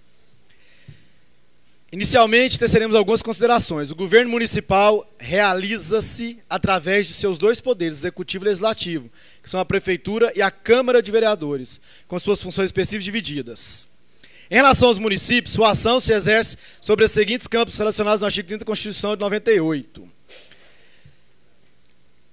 Nesse sentido, no que tange a proibição da execução e realização de obras que obstruam total ou parcialmente as vias públicas para os agentes públicos ou privados no horário das 7 da manhã às 19 horas em vias de grande movimento é totalmente pertinente à competência do Poder Legislativo Municipal, segundo ditames do artigo 20 da Lei Orgânica do município de Anápolis. Cabe à Câmara Municipal, com a sanção do prefeito, dispor sobre as matérias de competência do município e, especialmente, legislar sobre assuntos de interesse local, inclusive suplementando a legislação federal ou estadual.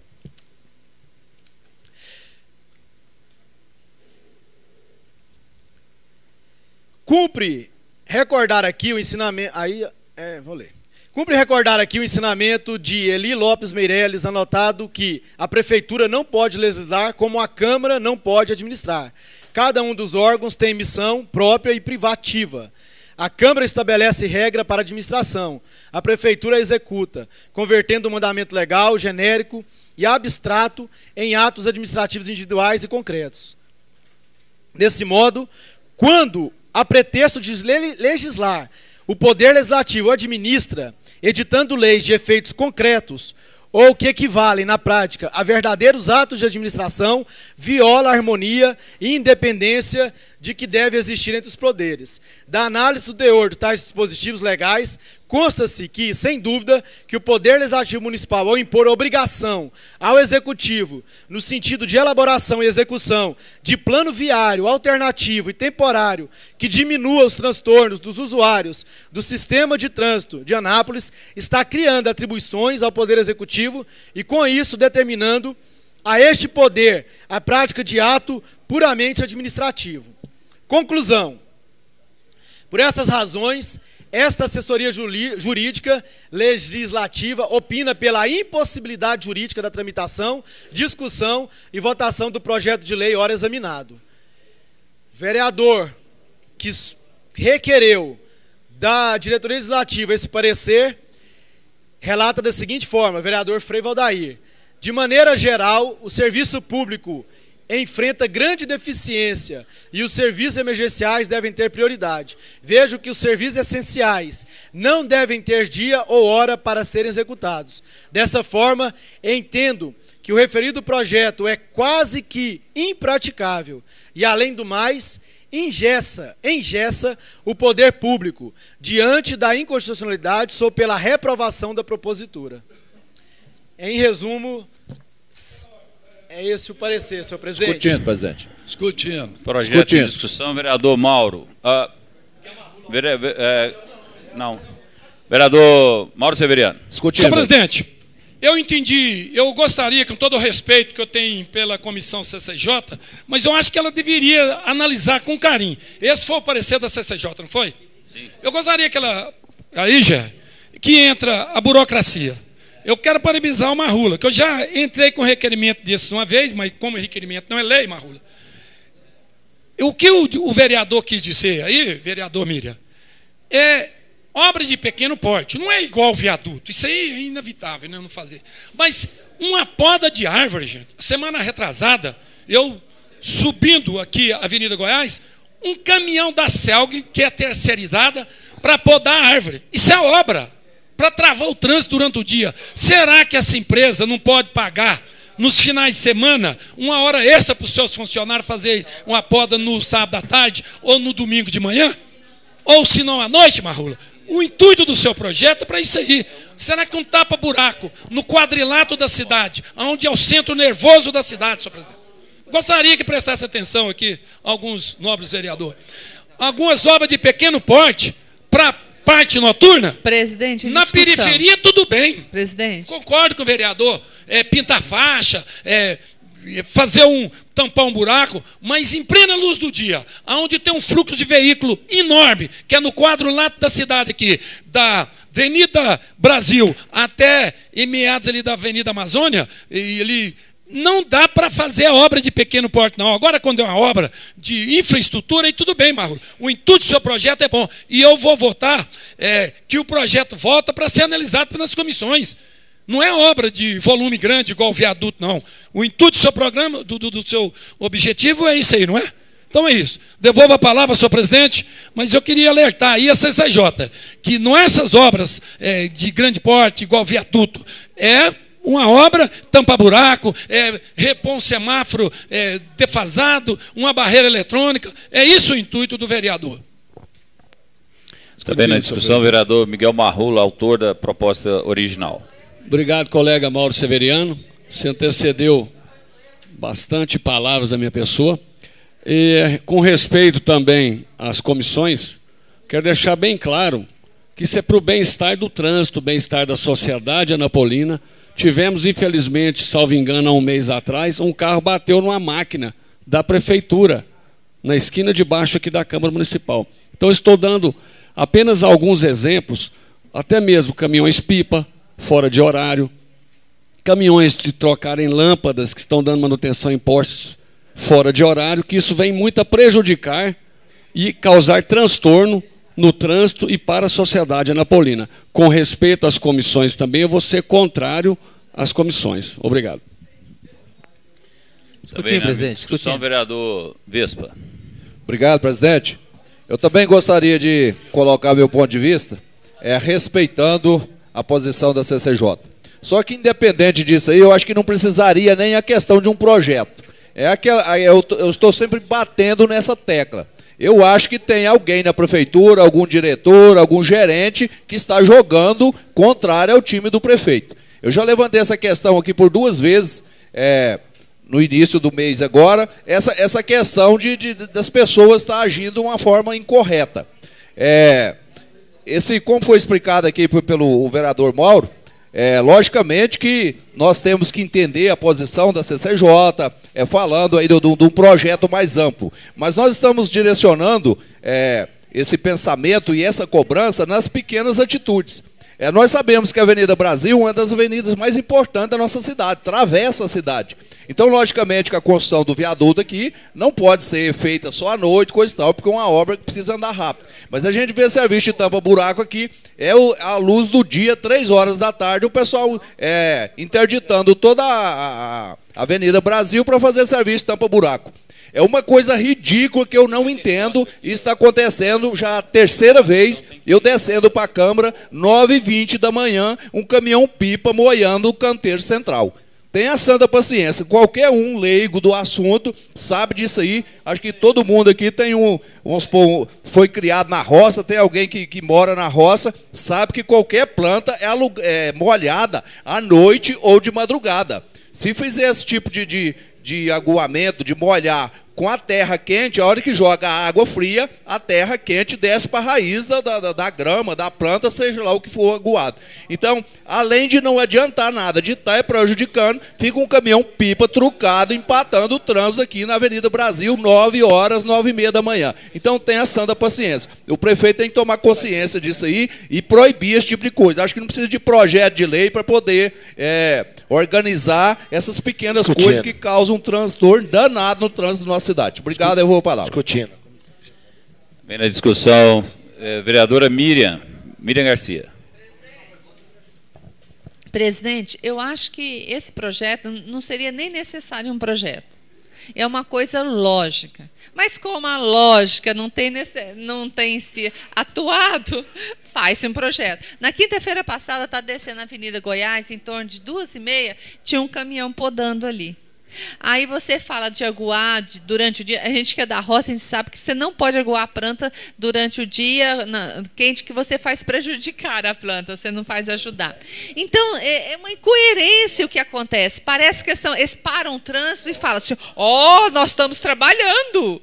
Milhares de pessoas vão passar aqui e vão ver o caminhão tampando o buraco. Nós estamos trabalhando pela cidade. Não precisa mostrar esse tipo de trabalho nesse horário. Só faz passar raiva na gente, porque ninguém está na rua à toa, todo mundo tem compromisso, o, o trânsito é cansativo, o sinaleiro é cansativo. Não precisa. Basta que a gente possa passar. Se fizer durante a noite e ninguém vê, na hora que a gente passar no outro dia, nós vamos ver que o buraco não existe mais. Então é o trabalho feito, é a rua recapeada que, que nós queremos. Nós não queremos ver as pessoas trabalhando. Então é uma coisa lógica acontecer durante a noite. A limpeza da cidade, ela acontece durante a noite. E nós sabemos quando ela ocorre ou quando ela não ocorre.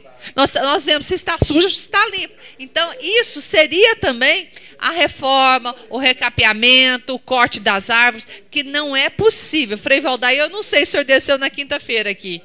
É, é, vários dias estão fazendo isso aqui na Avenida Goiás. É uma brincadeira. Duas e meia da tarde. É a reforma do viário. E é só em horário comercial? Não. As pessoas que assumem a responsabilidade de fazer esse tipo de serviço, ah, vou pagar hora extra à noite. É, sabe que, que você tem o ônibus, você recebe em cima disso, você recebe o valor determinado. Então, ó, ninguém está querendo ver ninguém trabalhar. Nós estamos querendo ver o resultado do trabalho das pessoas. E que se ele ocorrer à noite, vai ser muito mais tranquilo. Eu acho que, eu acho que já xingaram a mãe do prefeito muitas vezes, igual se xinga a mãe de juiz. Né? Então, eu acho que eh, nós, podendo realizar esse trabalho à noite, é necessário para a cidade, o que a cidade quer ver, ela reconhece. Nós, moradores, reconhecemos quando o trabalho é feito. Então, nós queremos só ele executado. Então, parabéns. Sou contrária ao voto na Comissão de Justiça e Redação. Sou a favor do andamento do processo, vereador Miguel Marru. Se não se atende pela lógica, vamos pela lei. Obrigada. Eber Mamed, na discussão, vereador. Obrigado, senhor presidente. Eu quero dizer ao Vespa que eu comungo com ele em parte da sua fala, mas eu quero dizer também, para o crescimento da cidade precisa de algum sacrifício. E se for escolher o horário vai ser difícil, porque nós temos que mostrar para outros estados pra- que Anápolis está crescendo e crescendo por intermédio de muitas indústrias grandes. Então eu parabenizo a todo o trabalho do nosso prefeito fazendo essas melhorias na Goiás com a Brasil, que era o grande sufoco do trânsito de Anápolis. Parabéns a todos que, que têm eh, trabalhado unido nesse sentido. E que questão de, de de poda de árvores, isso aí tem que ser discutido. Eu concordo até, mas é preciso que seja discutido. Não é hora da gente criticar a, respeito de poda de árvore e outras coisinhas aí, não. Obrigado. Glei Martins. Obrigado, senhor presidente. É, em relação a, a, a essas grandes obras ou pequenas obras, a gente vê que foi feito o viaduto da Presidente é, e o trânsito fluiu ali normal. O Nelson Mandela também houve um fechamento de parcial da via e fluiu normal. Agora, acredito que essas pequenas obras, você vê que fecha totalmente uma, uma situação para fazer um reparo. Seria necessário que fizesse horário não comercial, porque as grandes obras consegue fazer e as pequenas obras realmente tem hora que fecha toda um- uma situação, é, muda o trânsito sem avisar, porque as grandes obras avisam. Vai ser mudado o trânsito, as pessoas se adequam, se preocupam com, com outra, outra trajetória. Então, assim, as pequenas não. Chega lá, se instala, resolve é, o problema dele e causa um problema para o trânsito. Então, eu concordo que realmente é, que esse projeto está aqui em todas as obras, mas que possa ser em pequenas obras, que esse projeto volta para as comissões e a gente possa continuar. Sou a favor do projeto enquanto parecer. É, também na discussão, o vereador Luiz Lacerda. Obrigado, presidente. Presidente, eu quero cumprimentar a comissão de Constituição, Justiça e Redação pela coerência no parecer em cima desse projeto. É claro que a proposta do vereador Miguel Marrula, a propositura dele, é o ideal, seria o que todos nós é, é, gostássemos que pudesse acontecer na cidade. As obras sendo realizadas, os serviços, num horário ali que não atrapalhasse ninguém, num horário que podia, enquanto a população está dormindo, a, a, a prefeitura está realizando as obras para não atrapalhar aí o vai e vem das pessoas durante o dia. Agora, colocar uma lei dessa numa cidade já do tamanho de Anápolis, com tantos problemas que acontecem aí no dia a dia, com tantas intervenções que o município tem que fazer durante o dia a dia para poder resolver os problemas. Você colocar uma lei dessa limitando a atuação da prefeitura é praticamente impraticável. Então eu quero é, cumprimentar a comissão por justamente ter entendido que apesar de ser o ideal, mas é impraticável. Não adianta a gente estar tá aqui fazendo leis fantasiosas que na prática não vai ter condição de funcionar. Anápolis hoje é uma cidade onde a prefeitura trabalha constantemente para resolver os problemas. E claro que isso aí vai ser um impedimento para que os problemas que acontecem aí, os imprevistos, inclusive, sejam resolvidos. Imagine aqui uma obra dessa aqui, por exemplo, você colocar trabalhadores para trabalhar no período da noite. Quantos problemas nós não podemos gerar com isso? Problema de acidente de trabalho que pode ocorrer. E quando a gente coloca uma lei dessa aqui, é, com a intenção de que as pessoas trabalhem só à noite ou fora do, do horário comercial, nós, nós estamos esquecendo justamente desses trabalhadores. Ó. Eles vão trabalhar o quê? Como, como é, é, o município tem dinheiro para estar tá remunerando esse pessoal, a quanto que não vai onerar mais ainda essas obras, ter que pagando adicional noturno, hora extra para esses trabalhadores poder fazer essas tarefas à noite, sem considerar a possibilidade de aumento de, de acidente de trabalho e mais uma série de coisas, a própria saúde do trabalhador, ela fica em risco, ele trabalhando nesses períodos insalubres, noturnos. Então são muitas as coisas que nós temos que pensar antes de colocar um projeto desse em prática. A intenção do vereador Marrula é boa e é o ideal mesmo, seria isso, vereador. Se pudesse a gente colocar na prática esse seu projeto, mas infelizmente não é possível. Obrigado. Também na discussão, o vereador Jackson Charles. Obrigado, presidente. Eu atentamente observei algumas falas de alguns vereadores, onde eles insistentemente é, confundiam o projeto com manutenção de praças e jardins com obra. O projeto não fala de manutenção de praças e jardins, então não resolveria esse problema. O projeto trata de execução de obras em vias públicas, e não são todas as vias, são vias é, de maior fluxo aqui, como bem citou é, a lei. Agora, é importante salientar que o que, que é obra? O que, que é público e o que, que é privado? Não ficou claro isso aqui no projeto. Ficou assim, não ficou muito claro qual é o objetivo.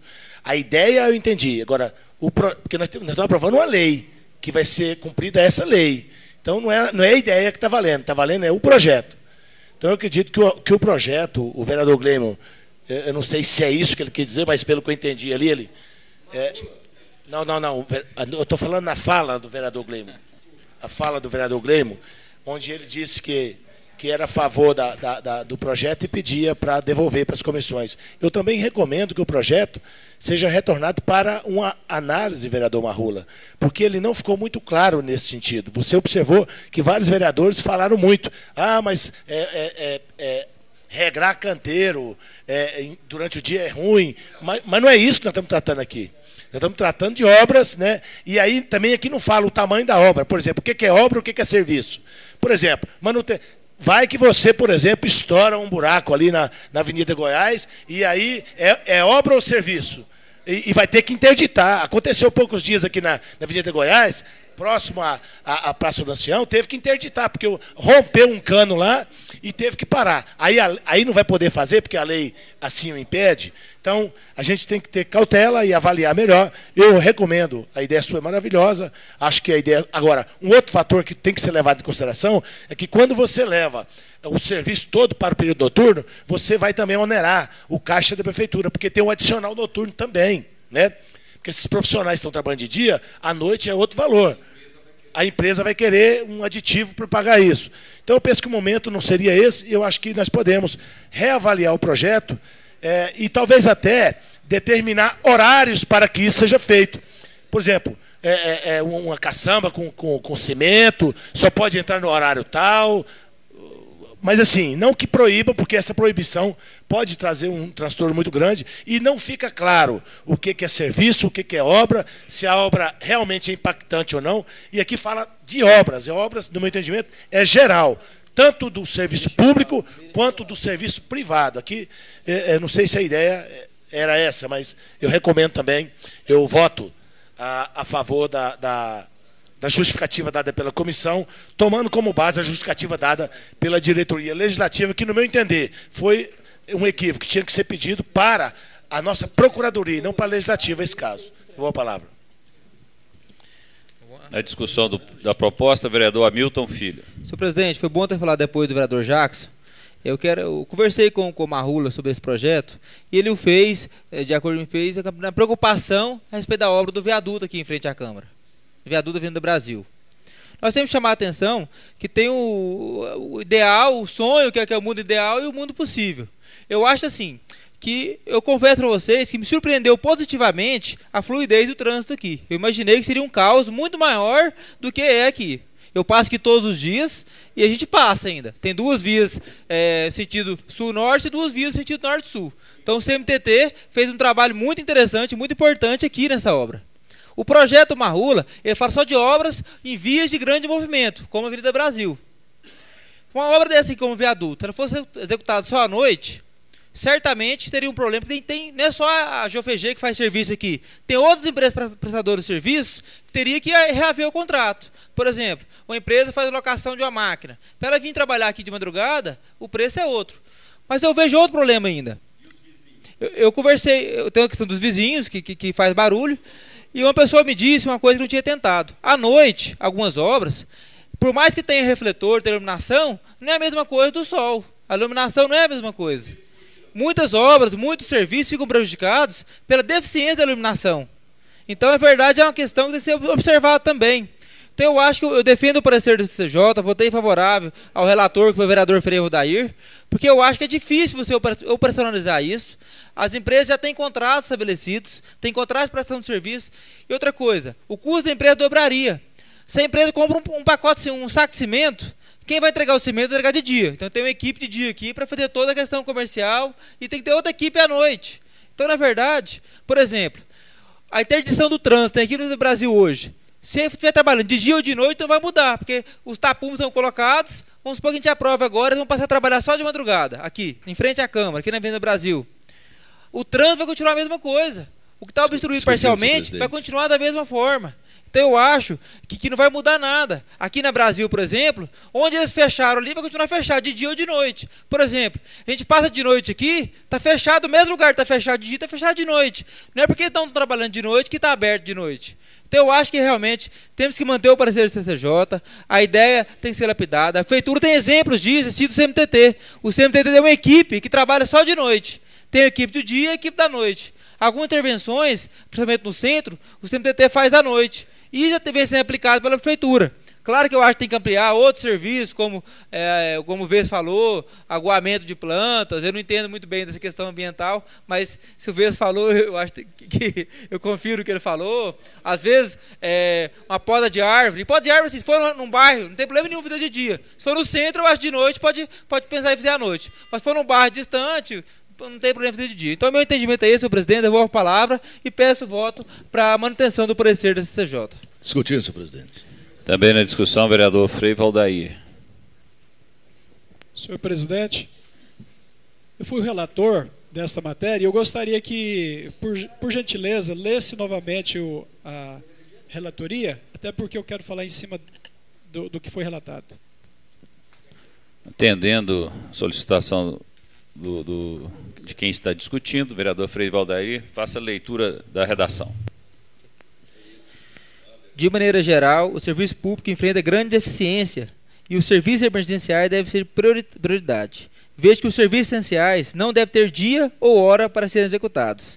Desta forma, entendo que referi o referido projeto é quase que impraticável e, além do mais, ingesta o poder público diante da inconstitucionalidade sob pela reprovação da propositura. Tem um parecer também do, do, do advogado da diretoria legislativa. Acho que é... não precisa. É, é só para dizer o seguinte: eu concordo com o projeto no sentido que nós temos que é, dar uma certa fluidez, principalmente nessas vias mais é, circuladas, como a Avenida Brasil, Avenida Goiás. Mas, como foi colocado no relatório, é, eu vejo que ah, alguns serviços são praticamente emergenciais. Vamos, vamos, pensar o que aconteceu recentemente aqui na Avenida Brasil também, independente dessa grande obra que é necessária ou que, que está em execução. É, um cano de água estourou é, no período da manhã. Ou seja, teve que fazer uma, uma intervenção urgente. Então, essa, essa lei, se ela é, de repente fosse aprovada, certamente teria essas dificuldades é, com relação à execução de serviços importantes ou emergenciais. Então, a, a intenção do vereador é boa, a, o que ele coloca é interessante, mas o projeto acho que não, não esclarece muito, ou não especifica que tipo de obra que não seja permitido durante o horário comercial. Então, talvez, não é culpa aí da, da comissão. A comissão fez o papel dela, de opinar ou de, de apresentar um relatório. Agora, o plenário também pode derrubar, né, pode votar diferente. Mas o conselho que eu dou ao vereador é que de repente até possa retirar o projeto e fazê-lo um mais completo. Fazer um projeto que realmente atenda ou que especifique melhor aquilo que ele quer ou que melhore a ideia que ele trouxe, que eu acho que é importante. Outra coisa é que a cidade, nossa cidade é uma cidade grande, uma cidade que está sempre em movimento. Há poucos anos atrás, 15 anos atrás, nós não tínhamos a vida noturna que hoje nós temos. A, a, a movimentação noturna, é, há uns 20 anos atrás, era pouquíssima. Hoje não, a cidade de Anápolis já tem uma vida noturna. É, qualquer hora da noite você, você vê alguns estabelecimentos funcionando, e isso é, requer um, um, novo conceito, uma nova, um novo entendimento com relação à cidade. Não é uma cidadezinha pequenininha mais. Então, sendo uma cidade grande, lógico que os problemas também são grandes e devem ser resolvidos a qualquer momento, do dia ou da noite, porque é, são questões quase que emergenciais. Devolvo a palavra. Também na discussão, vereador Ederson Lopes. Senhor presidente, né, nessa mesma linha, como muitos vereadores falaram antes de mim aí, já fui contemplado em algumas falas. Então é a generi, gen, como é que fala genérico? Gen, não, o projeto é muito genérico. O projeto não é específico. Eu entendi perfeitamente a intenção do vereador Miguel Marrula. Mas como o projeto é muito genérico, é, realmente vai criar um transtorno e não vai atender o objetivo desejado. Porque são todas as obras. E não é só, como diz o vereador Mauro, não é só no quadrilátero central. São as principais vias que tem ali um limite de 300 veículos, é, uma frequência ali por, por hora, se não me engano. Então, é, realmente, vai trazer um transtorno muito grande, além de onerar, como diz o vereador Luiz Lacerda, onerar o poder público, questão do adicional noturno, questão de, de outras, é, outras gratificações ali que oneram o poder público essas obras noturnas, além de onerar obra, obras públicas, sendo que se tivesse a limitação para fazer essa obra somente no período noturno. E também com relação ao sossego público.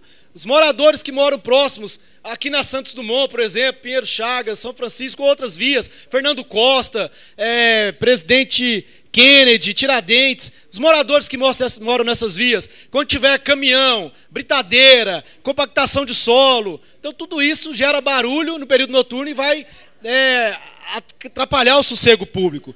Eu vejo que a prefeitura ela tem tido uma preocupação muito grande com relação a isso, a não interditar vias públicas, a fluidez do trânsito. Eu tenho percebido essa preocupação do poder público municipal com relação às obras e com relação a esses períodos, tanto o período comercial e com relação a períodos noturnos que não tenham obras que gerem né, barulho, é, que tirem o sossego público. Eu não tenho visto isso com relação a Saneago.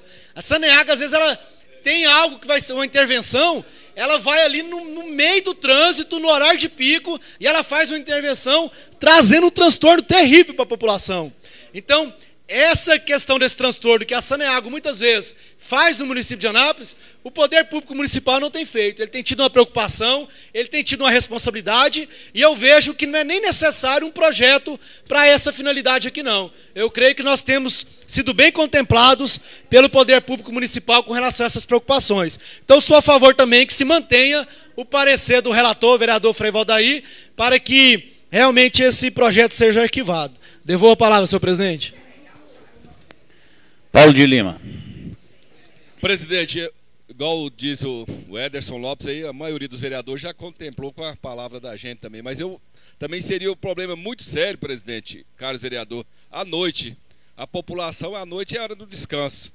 Já tem o zumbi da cidade que fica rodando aí, é, perturbando. Agora pensa bem, em obra à noite, todinha, no centro da cidade, locais de moradia e tudo mais, seria complicadíssimo esse projeto fosse adiante. Então, infelizmente, o Marrula tem boas intenções. O vereador Vespa também falou sobre a, a, molha, a, a molhação das plantas durante o dia. Isso aí sim pode ser modificado, os horários, somente de manhãzinha ou à tardezinha, né? Um horário que não tenha pique. O resto é fácil é conversar com a prefeitura e conseguir isso. E fora o que o Luiz Lacerda também falou sobre o carregamento de mais dinheiro, mais despesa para a prefeitura. Infelizmente, o projeto, para mim, não tem sentido hoje no, no município de Anápolis. Obrigado a todos. Vereador Eli Rosa.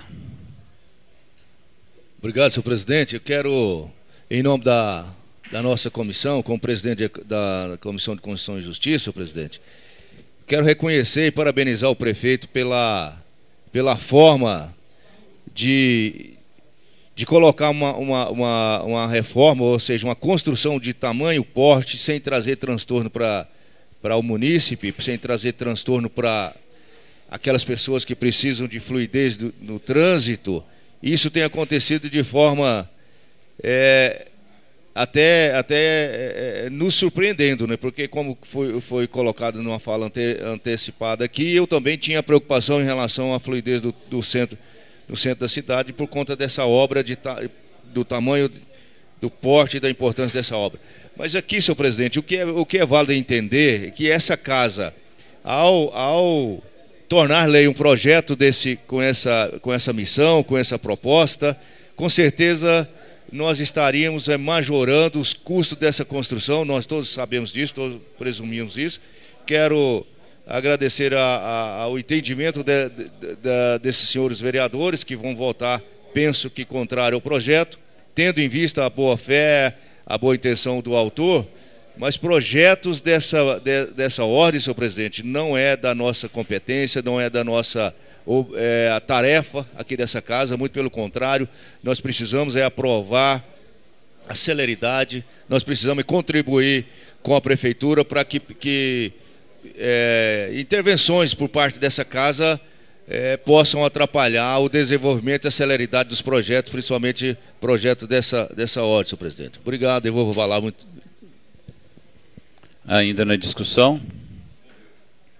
Discussões encerradas. Passamos então à votação.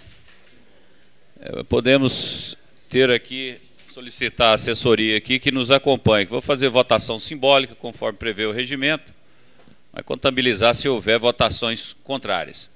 O projeto está em votação, votação simbólica. Os contrários se manifestem.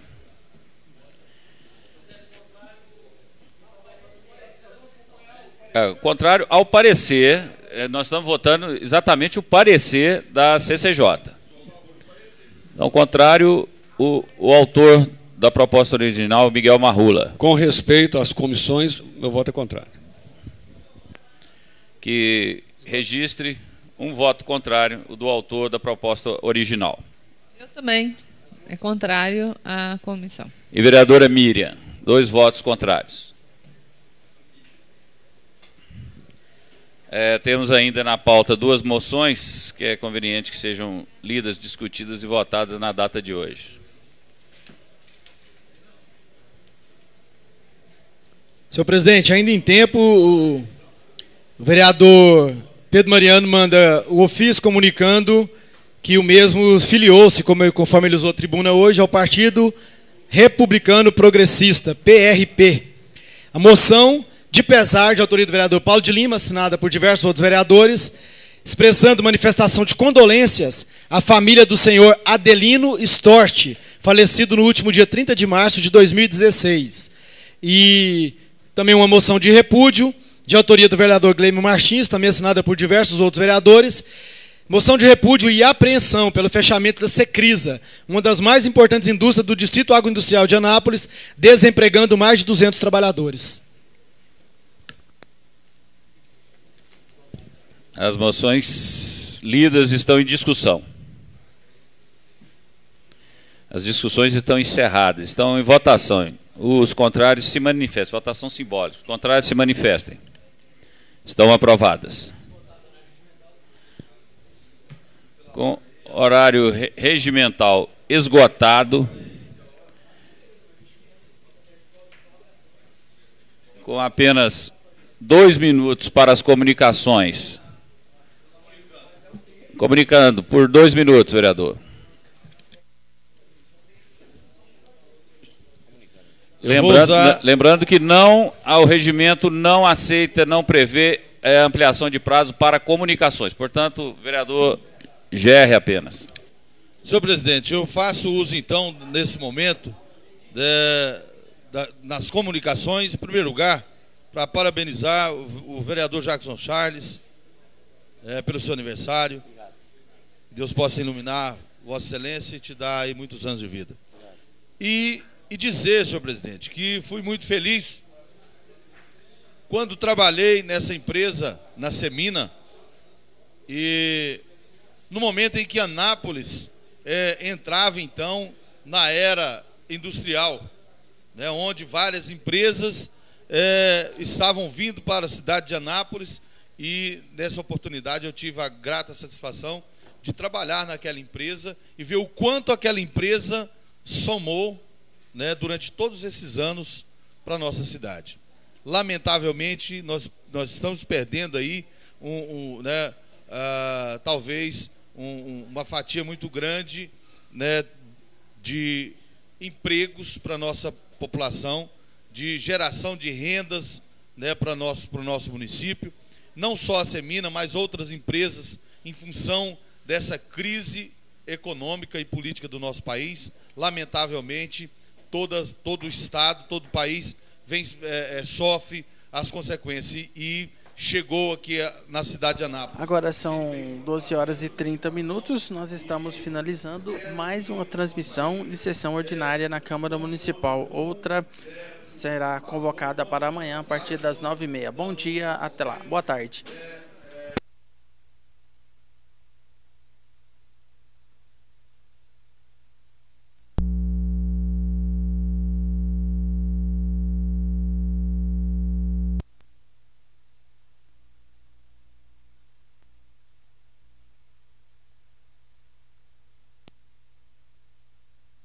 No, no momento em que empresas estão deixando o nosso município e, é, consequentemente, deixando muitos pais de famílias né, é, desempregados e talvez é, sofrendo aí a, até a, a diminuição é, do seu poder econômico, trazendo grandes transtornos para essas famílias. Vejo isso aí com muita preocupação.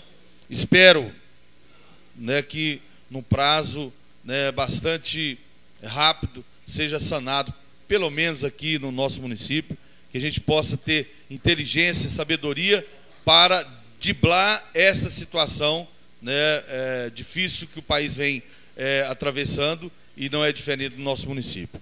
No momento, senhor presidente, é o que eu tinha. Muito obrigado, devolvo a palavra.